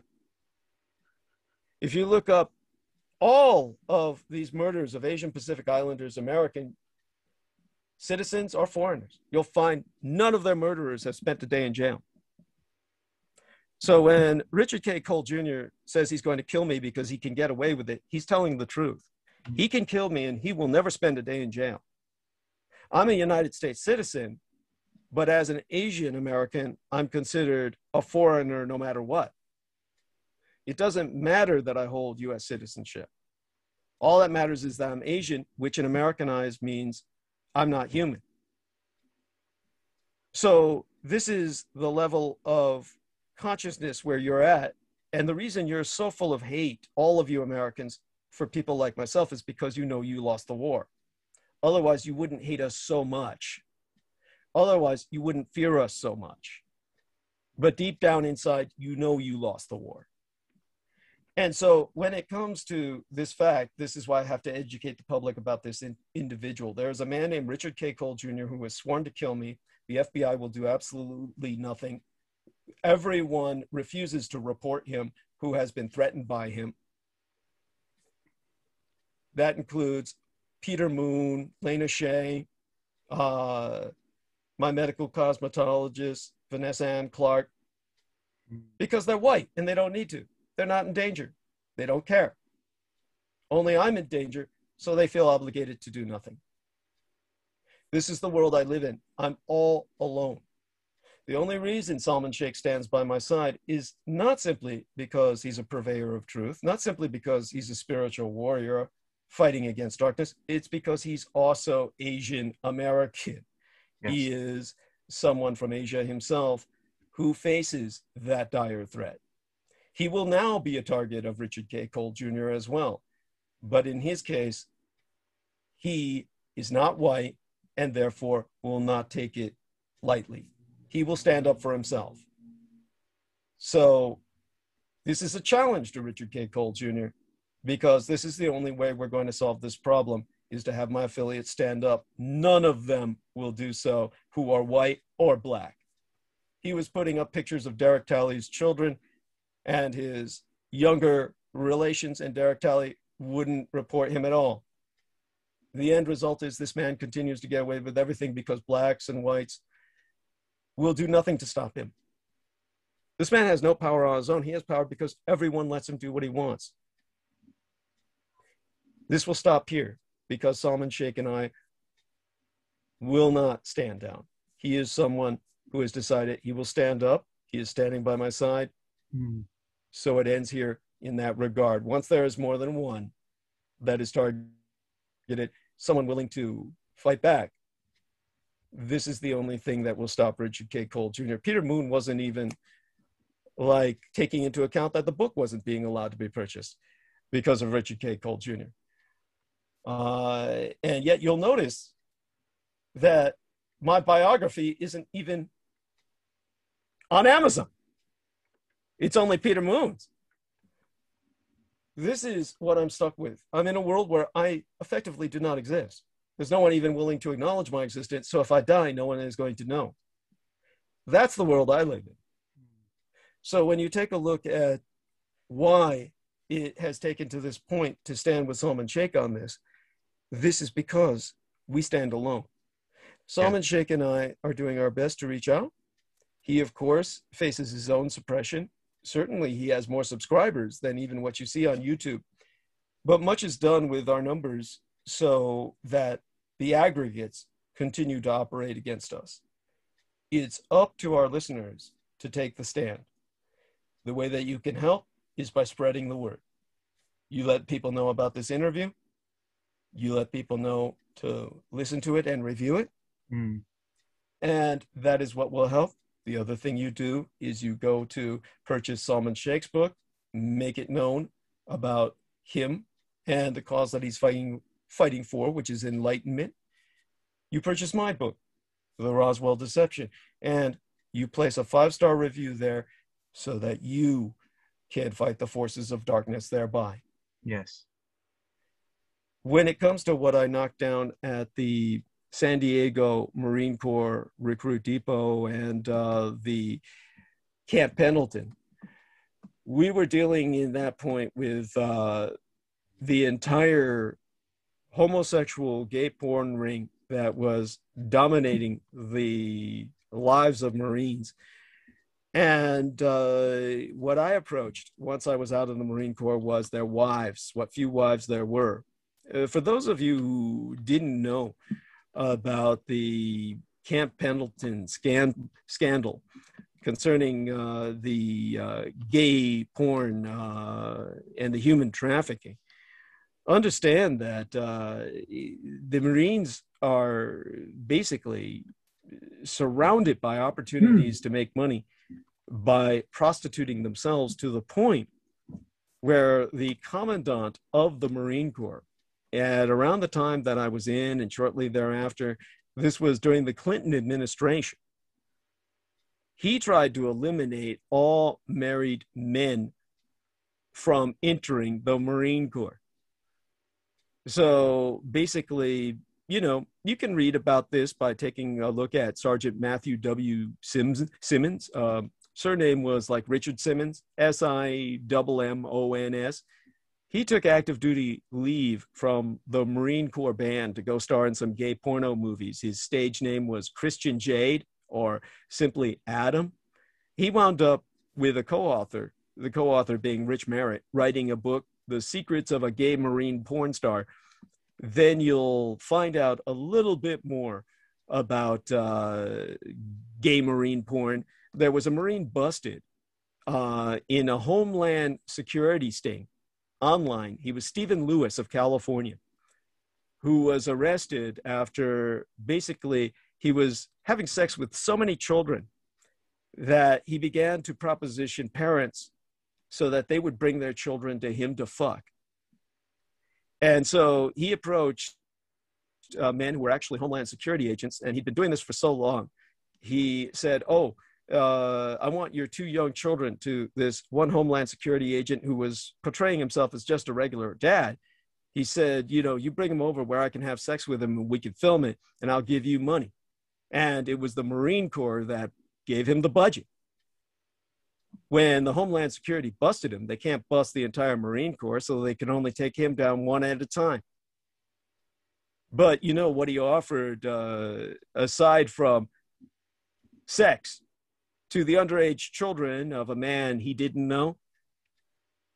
He brought, by the time they rendezvoused with him, he brought a bunch of Marine Corps t shirts to give the children, child sized Marine Corps t shirts, so that they could remember their experience. Now, those children didn't exist in this case because the Homeland Security was simply fronting these false virtual personas so they could catch this guy. But this is the depth of what we're talking about. And Stephen Lewis was a private first class stationed at Camp Pendleton, California. He was arrested on September 14th in 2013 in Morgan Hill, California, about a year before Mr. Salman Sheikh had even heard of me. Hmm. Now, the person who was running the Marine Corps gay porn ring was a guy named Sabalos, Chabalos, C E B A L L O S. He was a legal immigrant from Mexico, legal, but uh, he was on parole all the while that he was operating a active duty gay marine porno production ring that involved well over half a thousand active duty personnel. At the time, I took down his operation in 1993 after I got out of the Marine Corps myself. And he was like paying Marines, active duty Marines, up to around $250 for taping sessions that ranged from 20 to 90 minutes in the San Diego area. All of this was part of a human trafficking program in which uh, kids were brought from across the border, promised citizenship, and then they found wound up fucking Marines. And then uh, what would happen is they would be sent back over the border or turned over to ICE, ICE, Immigrations and Customs Enforcement, where they would be locked in prison until they were deported. So the Marines had a thing going on with Border Patrol. When I approached what few wives there were, and said, I knew what all of their situations would be because these Marines marry only to make it look like they're straight when they're all gay. I said, You know why your husband never has sex with you? I say, No, why? And I'd say, Because he's part of this gay production ring. When I approached enough wives and they got together and complained, that's how we took the whole ring down. That's how Richard K. Cole Jr. lost his job. That's exactly why he hates me so much. This gives people context with what we're dealing with so hopefully people understand this in the context that is real. This is the context that uh, we're confronted with. For those of you who don't know, when I was a Department of Defense research librarian, I was ordered to work with the satanic chaplain of the US military, Michael Aquino, and I need to qualify that. You can look this up and verify it yourself. Michael Aquino, who people understand just by looking his name up, was a Satanist and a human trafficker he wrote the chaplain's handbook for the US military, not just the Army, which he was a part of, but all branches of service Navy, Air Force, Marines. the chaplain's handbook was written by Michael Aquino. And that's so it can specify that all conventional chaplains, Catholics, Protestants, Jewish rabbis, even Muslim imams are ordered to step back and stand down whenever a satanic chaplain shows up. And the satanic chaplain supersedes the jurisdiction of all conventional chaplains in the US military, all branches of service, the unofficial religion of all the US armed force branches of service is Satanism. You can see this in its fruition in a documentary you can easily find on YouTube called The Dark Side of Al-Dura. They spell it in the American romanization from the Arabic as A-L space D-O-U-R-A, mm. the hmm. Dura. And the dark side of Al-Dura opens with Dick Cheney himself saying, we must go to the dark side. We must go to the dark side. And it chronicles the experience of a poor US Army Ranger joining one of the US Army elites. So I can educate people a little bit as to how the armed forces special operations units in the Army originally were established.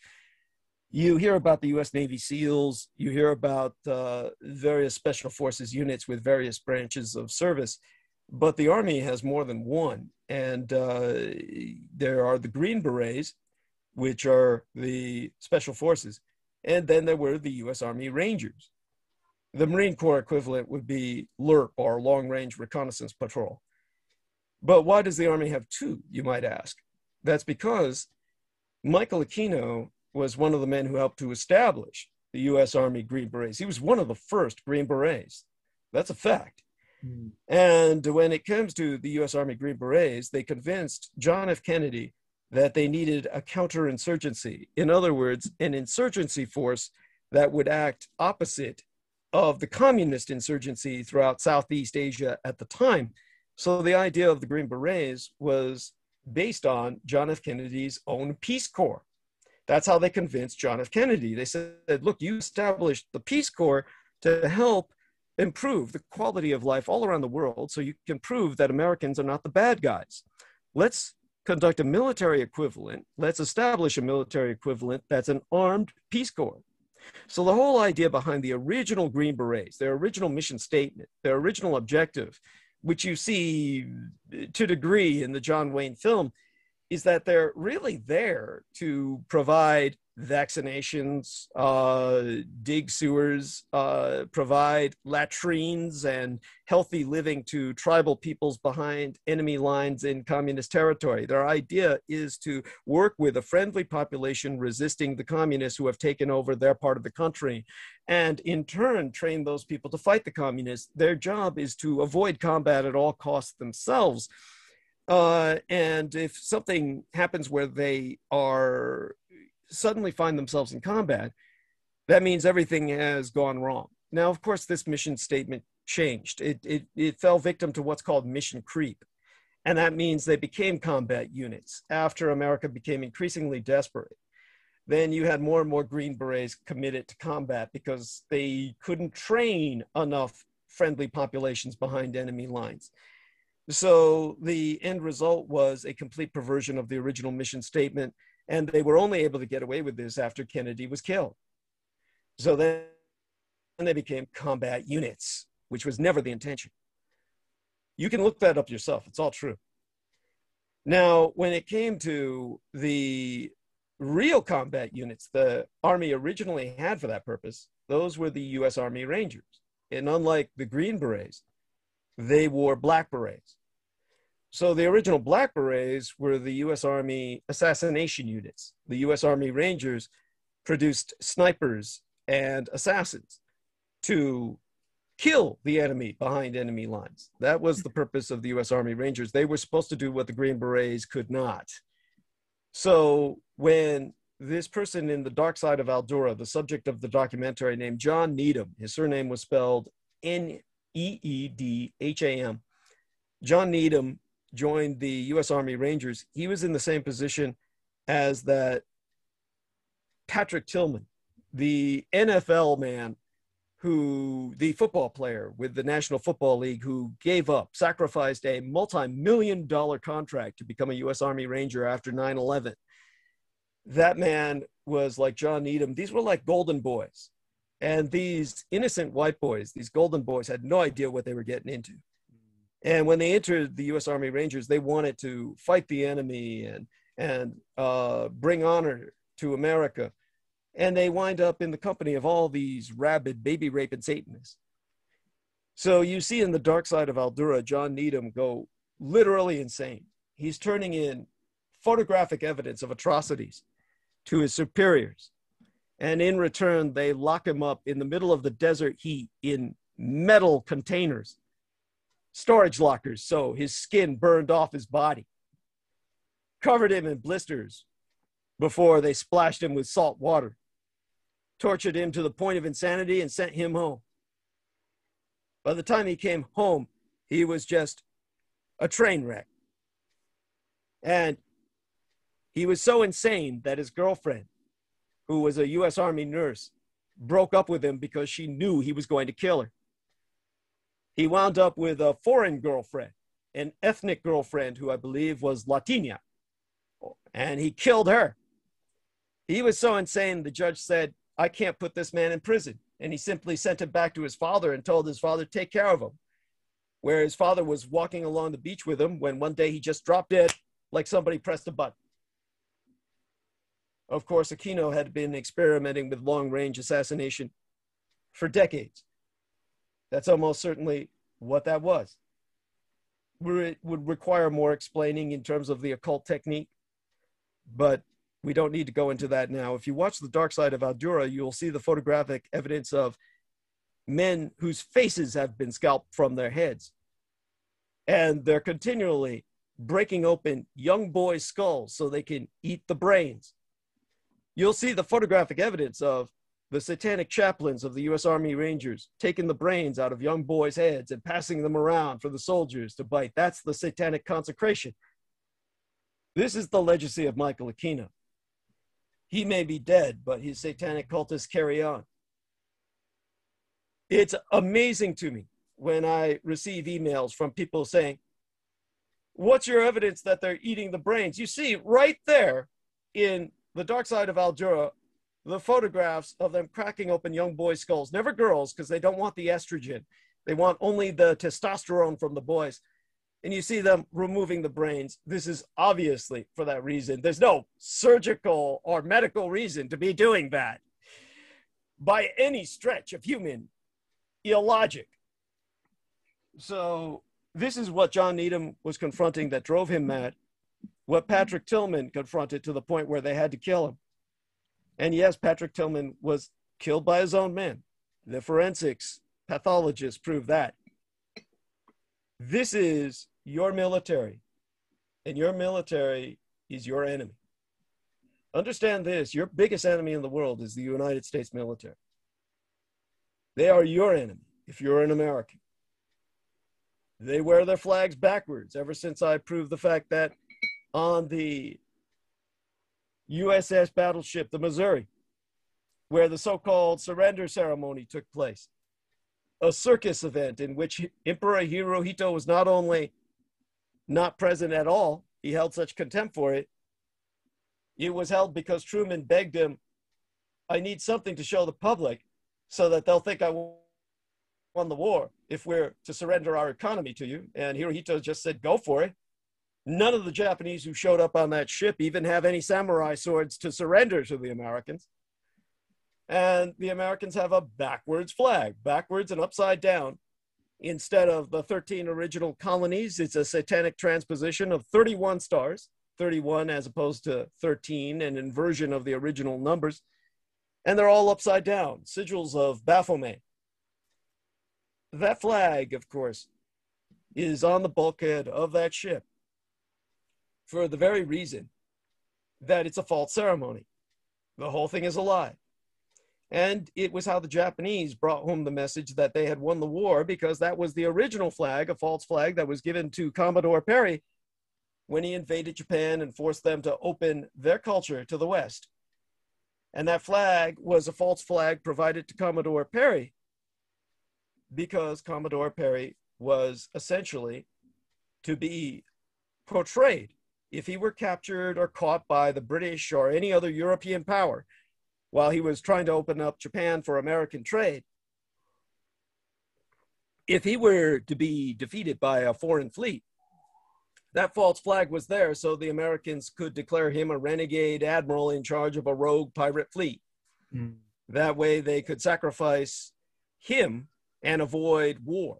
Don't forget that it happened after the War of 1812 when the Americans had been defeated by the British and the Canadians had invaded America and set the Capitol on fire and burned down the White House. Right. So, in the after effect of having lost a major war, the Americans were very afraid of European powers. Commodore Perry had a false flag in which to surrender himself were he captured so that America would not be involved or implicated. And when he opened uh, Japan under that false flag, and they realized later on that they had been opening their country under false pretenses, under force of invasion, under rule of force, they in turn forced the Americans to bring that flag back on the USS battleship Missouri so that the Americans would show themselves as having lost the war. That is, again, ultimate proof in your eyes that you are not even aware of. So when the Americans had that little ceremony and claimed that was their surrender ceremony, you'll notice that the Chinese are not present as signatories. And that's because China had switched sides to Japan. The Soviet Union did not sign that. Uh, where they were still legally at war with Japan, and now the Russians are still legally at war with Japan today. This is the world you live in, and the world you live in is incredibly impacted by World War II every day. Your world is still at war with the Third Reich, the Western world. The man who has taken it upon himself to produce some documentaries on his channel, uh, Bizarre HD channel on YouTube. You would look that up by looking up B I Z A R E H D, is George Knight, who lives in England. And George Knight, of course, has produced several videos on the based on my expositions, how the United States is still legally at war with the Third Reich in exile. This is why we're still on daylight savings time. You can look this up yourself. Daylight savings time never existed in the United States until World War One. It was impugned upon the American public for a single year in World War One. Everyone demanded it be withdrawn. When FDR got onto a war footing and mobilized America for a second world war, he put everybody back on wartime, and we've been on wartime ever since. Russia, on the other hand, has declared peace with the Thousand Year Reich in exile, and they are off daylight savings. So the Russians have removed daylight savings from their lives. Uh, they're at peace with the Third Reich in exile, whereas the Americans and the British are still legally at war with the Thousand Year Reich in exile and um, therefore we're still on daylight saving time, wartime. You can look that up. As for the phone tax, uh, George Knight may very well end up working for the phone companies or the telecommunications uh, departments of the British Empire, uh, the British government. And uh, one thing that he's chronically aware of is both in England and in the United States you can look at any of your phone bills and you will see a wartime tax. There is a telephone tax, a federal tax on all your phone bills that is, you can look it up, a wartime tax. And this was started in World War II because they wanted to discourage people from making unneeded and unnecessary phone calls during wartime because in those days you had young ladies who worked at a switchboard or old ladies for that matter and these women would literally have to plug in the socket to connect you. And it would overwhelm them if everybody was calling home. So, to discourage that, they instituted a telephone tax. Today, that telephone tax is still in effect, and it is a wartime tax. You are legally in a state of war with the Thousand Year Reich in exile. This is one reason, aside from the fact that the Japanese, having won World War II in the Pacific and demanded that America never declare war again, you see, the myth you hear is just the opposite. You hear, yes, we forced the Japanese to forswear war forever. But it's the Americans who have never been able to declare war since World War II. Since World War II, America has never been able to legally declare a state of war. Two reasons for this. One, on the Japanese side, the Japanese demanded they dismiss, dismantle, uh, completely deconstruct their War Department. Now, remember, you can look this up. The United States used to, there was no Department of Defense. The United States used to have a Department of War an honest to God Department of War. That's gone. The Japanese said, You will never wage war again. You will dismantle that Department of War. And they, Americans, had to dismantle that in 1947 while undergoing peace talks with the Japanese and surrendering to their demands. And that's when they had to reestablish a Department of Defense. The Japanese allow Americans a defense force. This is what the Americans say about the Japanese. You know, the Japanese don't have a military, they've got um, a defense force They've got defense forces. Well, that's exactly what America has defense forces. And uh, so the Japanese imposed this on the Americans following the Japanese model. And so the Japanese made certain the Americans can never declare war again. They no longer have a Department of War. They cannot legally uh, declare war. So every war America is involved in is illegal and unconstitutional uh, but it cannot declare war again because first it lost to Japan, and secondly, it's still legally at war with the Thousand Year Reich in exile.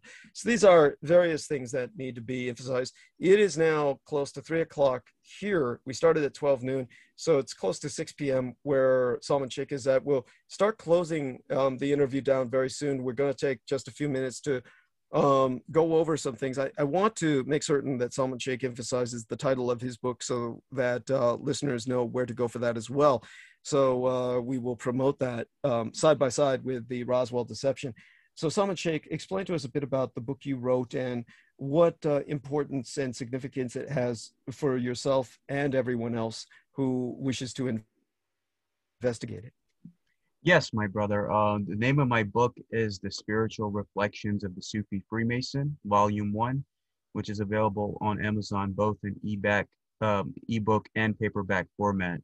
And the reason why I wrote this book is because I, re- I realize even in the um, you know the fields that I'm involved in, no one is willing to share the actual truth on many esoteric and spiritual matters. I have many um, Freemasons and other spiritual paths and other people that email me saying that the information that you're teaching me, no one else is teaching us. So I'm basically a mirror reflection of you, my brother. And even in this book, uh, this is basically a Masonic book, and I'm talking about Sufism and Islam and how to protect yourself against Satanists and how to defeat handlers. Like, there's no Masonic book that's going to talk about this type of stuff that I'm talking about, which is to share the, uh, you know, to also change the hearts and minds of the people because people think that all Muslims or Freemasons are evil, which is not true. Or people, uh, you know, have a misconception that all you know the different species that exist on this uh, earth are evil. That's not true my brother. The fight between good and evil light and dark exists in all nations groups races religions and species of this planet. And i have a promise to almighty god that i have to make peace whether those species are human non-human and to leave this world in a better condition in which i inherited in as a almost 29 year old man so that's that's my purpose and uh, you know with what you're doing i stand with you and you need to um, let the people know who you are and what you're trying to tell humanity because you, you, you and I are mirror reflections of one another. As in Islam, it says one of the 99 names of Allah is Al-Ahad. Everything is one. Whether it's me as a human being, anyone else that's non human, you and I come from the same source. And the sooner people realize that, the sooner we'll have peace on this planet, my brother. God bless you. And uh, Allah be praised. And uh, peace be upon the Prophet Muhammad, who was his messenger and uh, still is through the holy work of the Quran. I want to thank you so much for reminding me that I have a second book out there uh, published uh, by Peter Moon and myself this is not on Amazon. You simply need to look up Douglas Dietrich Vampirology, and it's spelled V A M P H Y R O L O G Y. Vamphyrology. Vampyr being the correct European uh, pronunciation and uh, in romanization from the Cyrillic for the vampire species. And our man Salman Sheikh is very kind by including that uh, subspecies of humanity in what he is speaking of because he understands that just as there are wolves and there are sheep and just as there are sharks and there are minnows there are predators on the food chain and there are other uh, creatures within their same species that serve as their prey, but is part of the balance of nature. Yes. And the balance of nature is all of God. And so, in that sense, what I introduce to people based on the original uh, Soviet research into the reality of the Vampiro subspecies is what I can in terms of their medical physiology. This book is by no means complete. Like the Roswell deception itself, it's very much a 1.0. We had to get it out immediately in both cases simply because everything was operating against us uh, when Peter Moon returned from Washington, District of Columbia, his computer was crashed. There was no coincidence here. Your computer, no computer just crashes like that with the entire disk corrupted and everything compromised. Mm. Uh, and uh, so he just comes home and, oh, yeah, the computer is crashed. And, you know, at that point, um, Crystal River convinced me we had to get the book out or it wasn't going to be published at all, even though there was much I wanted to add into the Roswell deception. Bear in mind, while you're reading it, that it is very much uh, rendered by Peter Moon quite understandably for accessibility. So without Peter Moon, I could never have done that. And so Peter Moon is the man responsible for making it accessible to the general public. In that sense, he's making he is the interpreter from the technical language I would otherwise use that would that has always made my information inaccessible to the general public, and uh, therefore easier to dismiss because nobody understood it. And he took it out of the professional realm and made it popularly accessible. So all credit to him. It's in that spirit. What we've released about vampirology is very incomplete. People are lacking uh, a lot of the historical context for these investigations. We will re-release the book in the near future uh, that will cover that. But uh, in the interim, what people have is at least the physiological reality of vampirism. And of course, uh, I want people to understand that uh, this is going to sound um, in, incredibly shallow, but vampire or vampires are people too. Uh, and the biggest problem that people have is that, uh, unfortunately, thanks to movies, thanks to films, and thanks to popular culture, people, well, they think of them as something else. They think of them as a hyper romanticized. They have a hyper romanticized image, and hopefully, this book will do its bit to put that out of uh, a, a, out of your mind and help you adapt to a kind of uh, realistic uh, acceptance that there are those among us who are not like us. This is not what people think. It is not maskarova or a masquerade, as the Russians would call it, in the sense of uh, people who are more intelligent than you and preying upon you, who are a superior species in the sense of being uh, intellectually uh, the way you portray the cultivated European gentleman that we got out of Hollywood. This is uh, basically, these are simply a subspecies of humanity who are trying to survive. And really, it's very similar to, in their function, to in autistic children really. It, they're very much like autistic children no matter how old they are. That would be the norm. And uh, there are certain people who have less of that bloodline in them who are um, a bit uh, diluted that are a bit more human in terms of their processing and cognizance. Um, but most um, of them there would be just this side of homelessness just the side of, uh, uh, of uh, autistic children functioning at a level of processing that is not considered uh, professionally on par with employment. Uh, so th- this is something to bear in mind, and it's something that uh,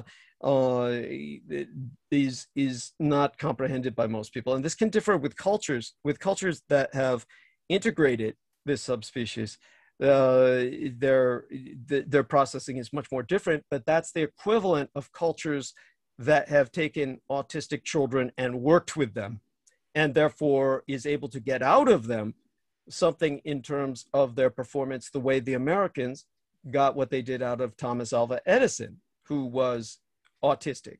In fact, the autistic gene is known as the Edison gene. There is a book by that title. So it's not that Zamfir, like Thomas Alva Edison, can, under circumstances, rise above what is normally a uh, condition that is going to prohibit them from excelling and rise above that to the point where they do. But uh, it's also important not to view this as a condition. And this is what we have been trying to do when we try to normalize autism. We normalize it by saying um, that, you know, and there's controversy about this. There are people who say, stop thinking of autism as a gift but um, uh, it's simply something that is.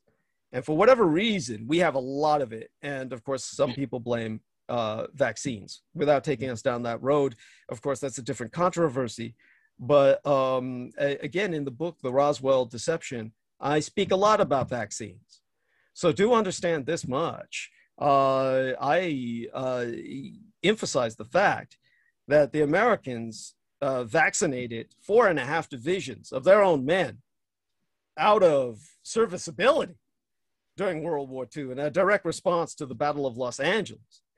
So you can read about the largest single point source of hepatitis in the history of humanity resultant the Battle of Los Angeles. This can go to show you just how negative vaccines can be in terms of their impact. Hmm. That cost the Americans the war.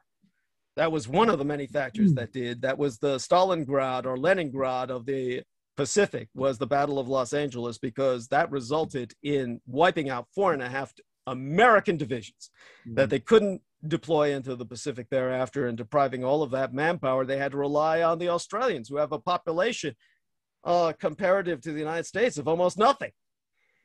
So this is uh, something you'll read about in the Roswell Deception.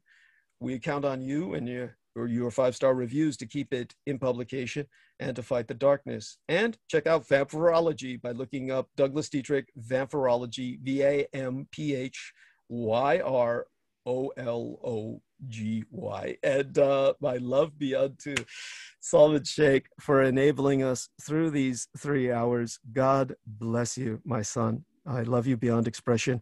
I will call you privately. Um, uh, if not this weekend, then uh, hopefully before Wednesday, maybe on Tuesday or um, or on Thursday uh, or Friday. One of these days, very soon, I'll give you a call and we'll get you on my program as well. And hopefully, you'll become more of a regular, and uh, people will become acquainted with you and your works because they are so important. I have referenced in our promotional banner. I have referenced Salman Sheikh as our resident Islamo chaplain and uh, he is someone I refer to as a uh, basically a Sufi Mason. And Sufi, by the way, is literally from the Arabic woolen, uh, because the Sufi are the practitioners of that particular form of spirituality, which has a much more complicated Arabic name, just so people know. Sufi is more like a, almost like a colloquial. It, it really is almost more like a colloquial kind of way to reference them.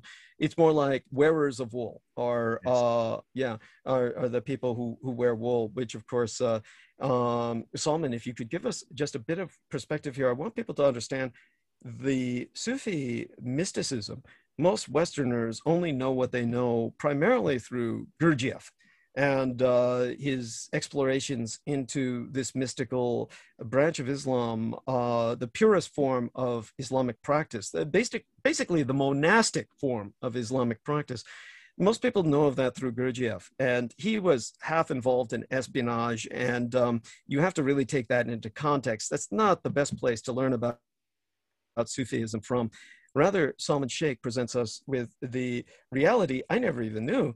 When I think of Sufi and uh, the practice of mystical Islam, I think, as most Westerners do, of Northern Africa into Asia Minor and um, maybe Southwest Asia itself to extent, but I had no idea there were Sufi organizations and actually places of worship in Pakistan uh, so by all means, Salman, just tell us a little bit of that to segue ourselves into closing tonight's program that you went to Pakistan fairly recently and were um, paying your respects at these various places and, and tell us a little bit about how uh, the Sufi practice got there and whether it's facing any persecution or or or whether you know tell us how things are in that regard.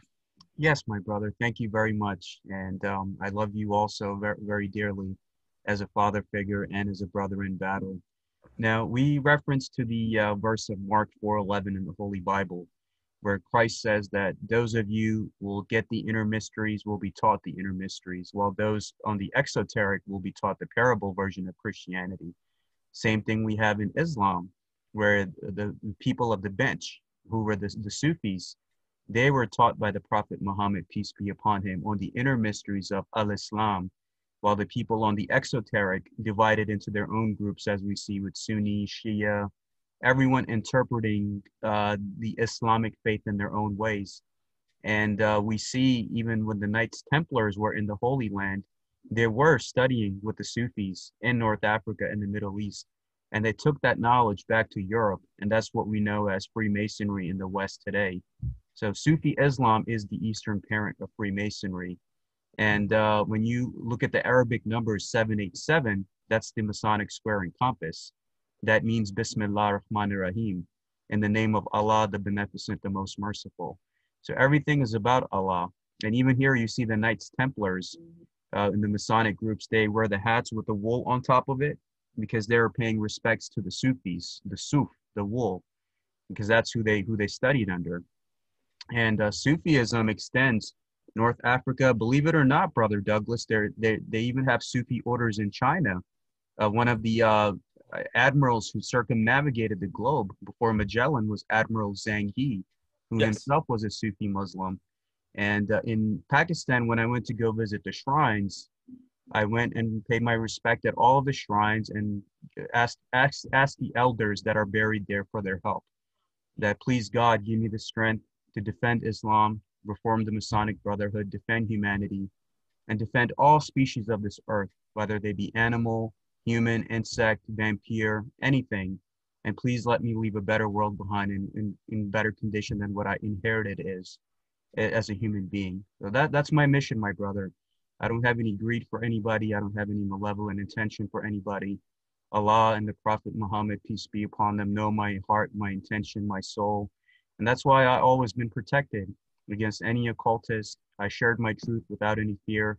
Even running into you was by fate.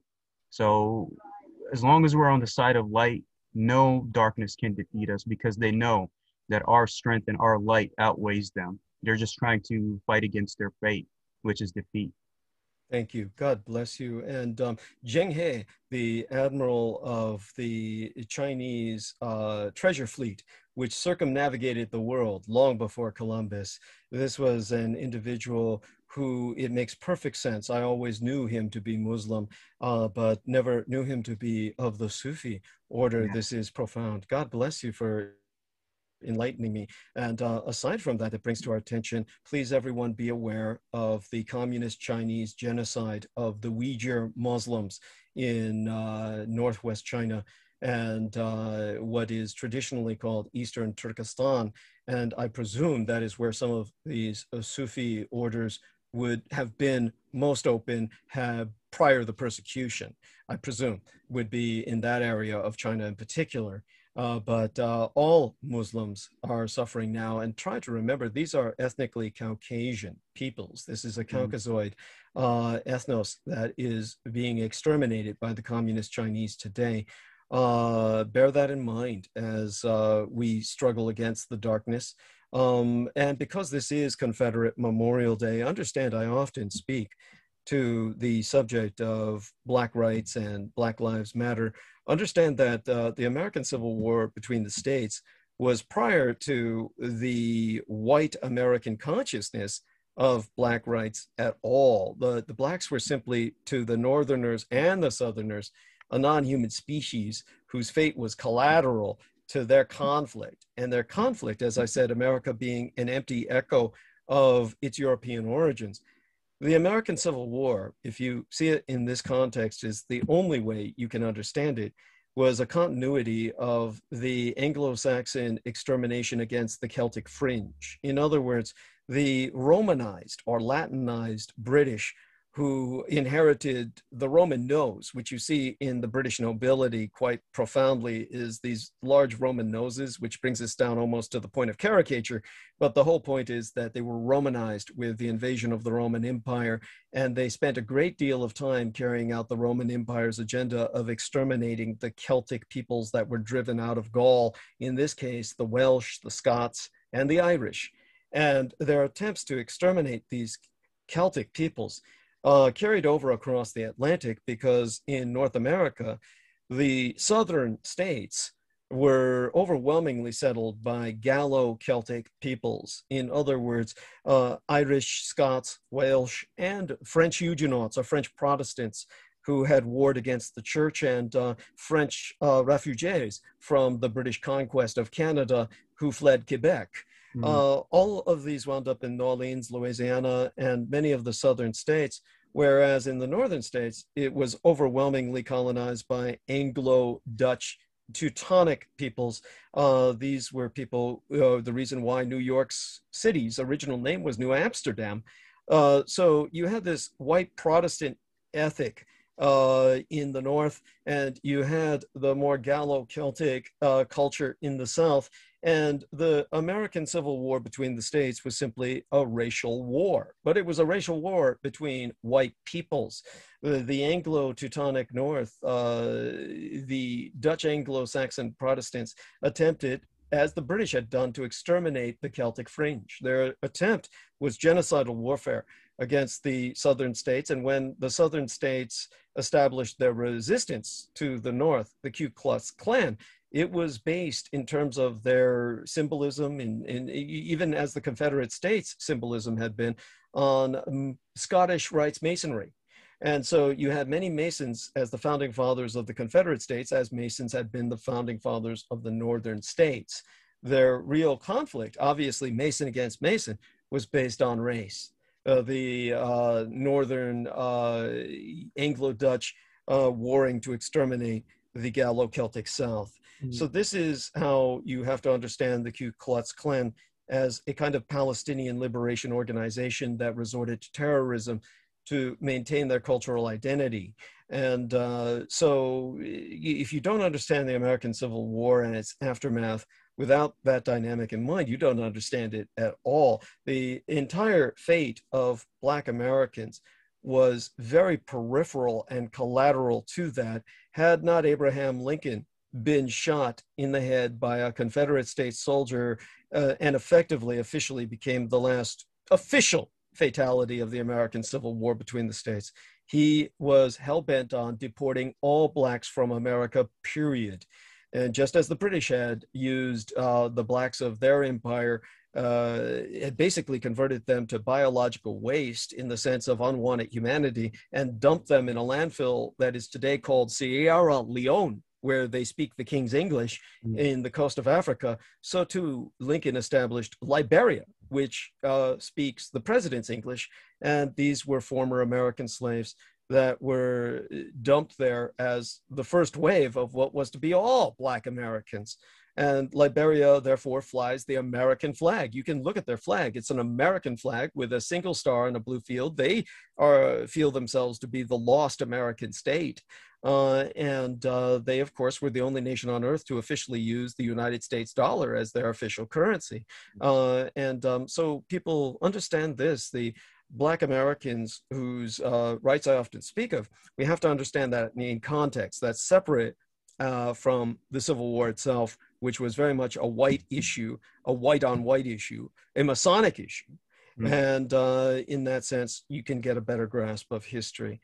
Well, uh, so that brings us back to the holiday today. Remember, this is also the month of the military child. So what we discussed was relevant to that. This is also Sexual Assault Awareness Month, and what we discussed was relevant to that as well. So we managed to cover all of the relevant topics of this day and this month.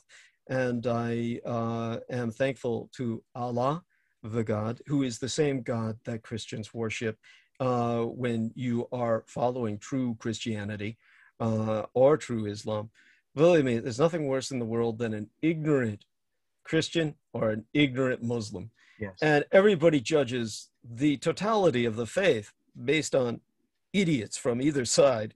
understand that the reason this is so important is that for the Middle Ages, which had dominated human interaction throughout the Atlantic for nigh a thousand years, there was no such thing as politics. A man's religion was his politics. Mm. You lived or died and killed on the basis of being a Muslim or a Christian. And Muslims or Christians would kill each other based on their interpretation of what brand, what paradigm of Islam or Christianity they were following. Yes. Whether Byzantine Orthodox Christian or Protestant or Roman Catholic, or in the case of the Muslims, Sunni or Shia, with the Sufi managing to distance themselves mostly from this kind of secularized religious ideology, the Mm. ideological uh, processing of a religious reality. Uh, the Sufis stayed apart and they stayed spiritual. And uh, so when it comes to this concept of uh, Christian and Islam, these were the superpowers of their day that battled for the world. We are returning now to this kind of processing, this kind of paradigm. So it's more important than ever that uh, both Salman Sheikh and I help to, in our own ways, do our best to show the way, to uh, convey the true message of the Prophet Muhammad, peace be upon him, and uh, our Messiah, Jesus Christ, so that we Yes. can make certain that this return to a religious sense of consciousness or cognizance is not a repeat of the Dark Ages. Absolutely. And I and I stand I stand with you through the entire process, my brother. God bless you. And blessed be thy weekend, and blessed be all thine own. And uh, we will speak again very soon. Assalamu alaikum and may God and the Prophet Muhammad, peace be upon him, always protect you, my brother, with love and happiness. God bless you in turn, my dear brother. God bless you, my son. And uh, praise be to Allah and peace be upon the Prophet Muhammad, his Amen. messenger. Um Amen. Bye bye for now. bye bye. Take care. So, how do we hang up? Uh let me just uh,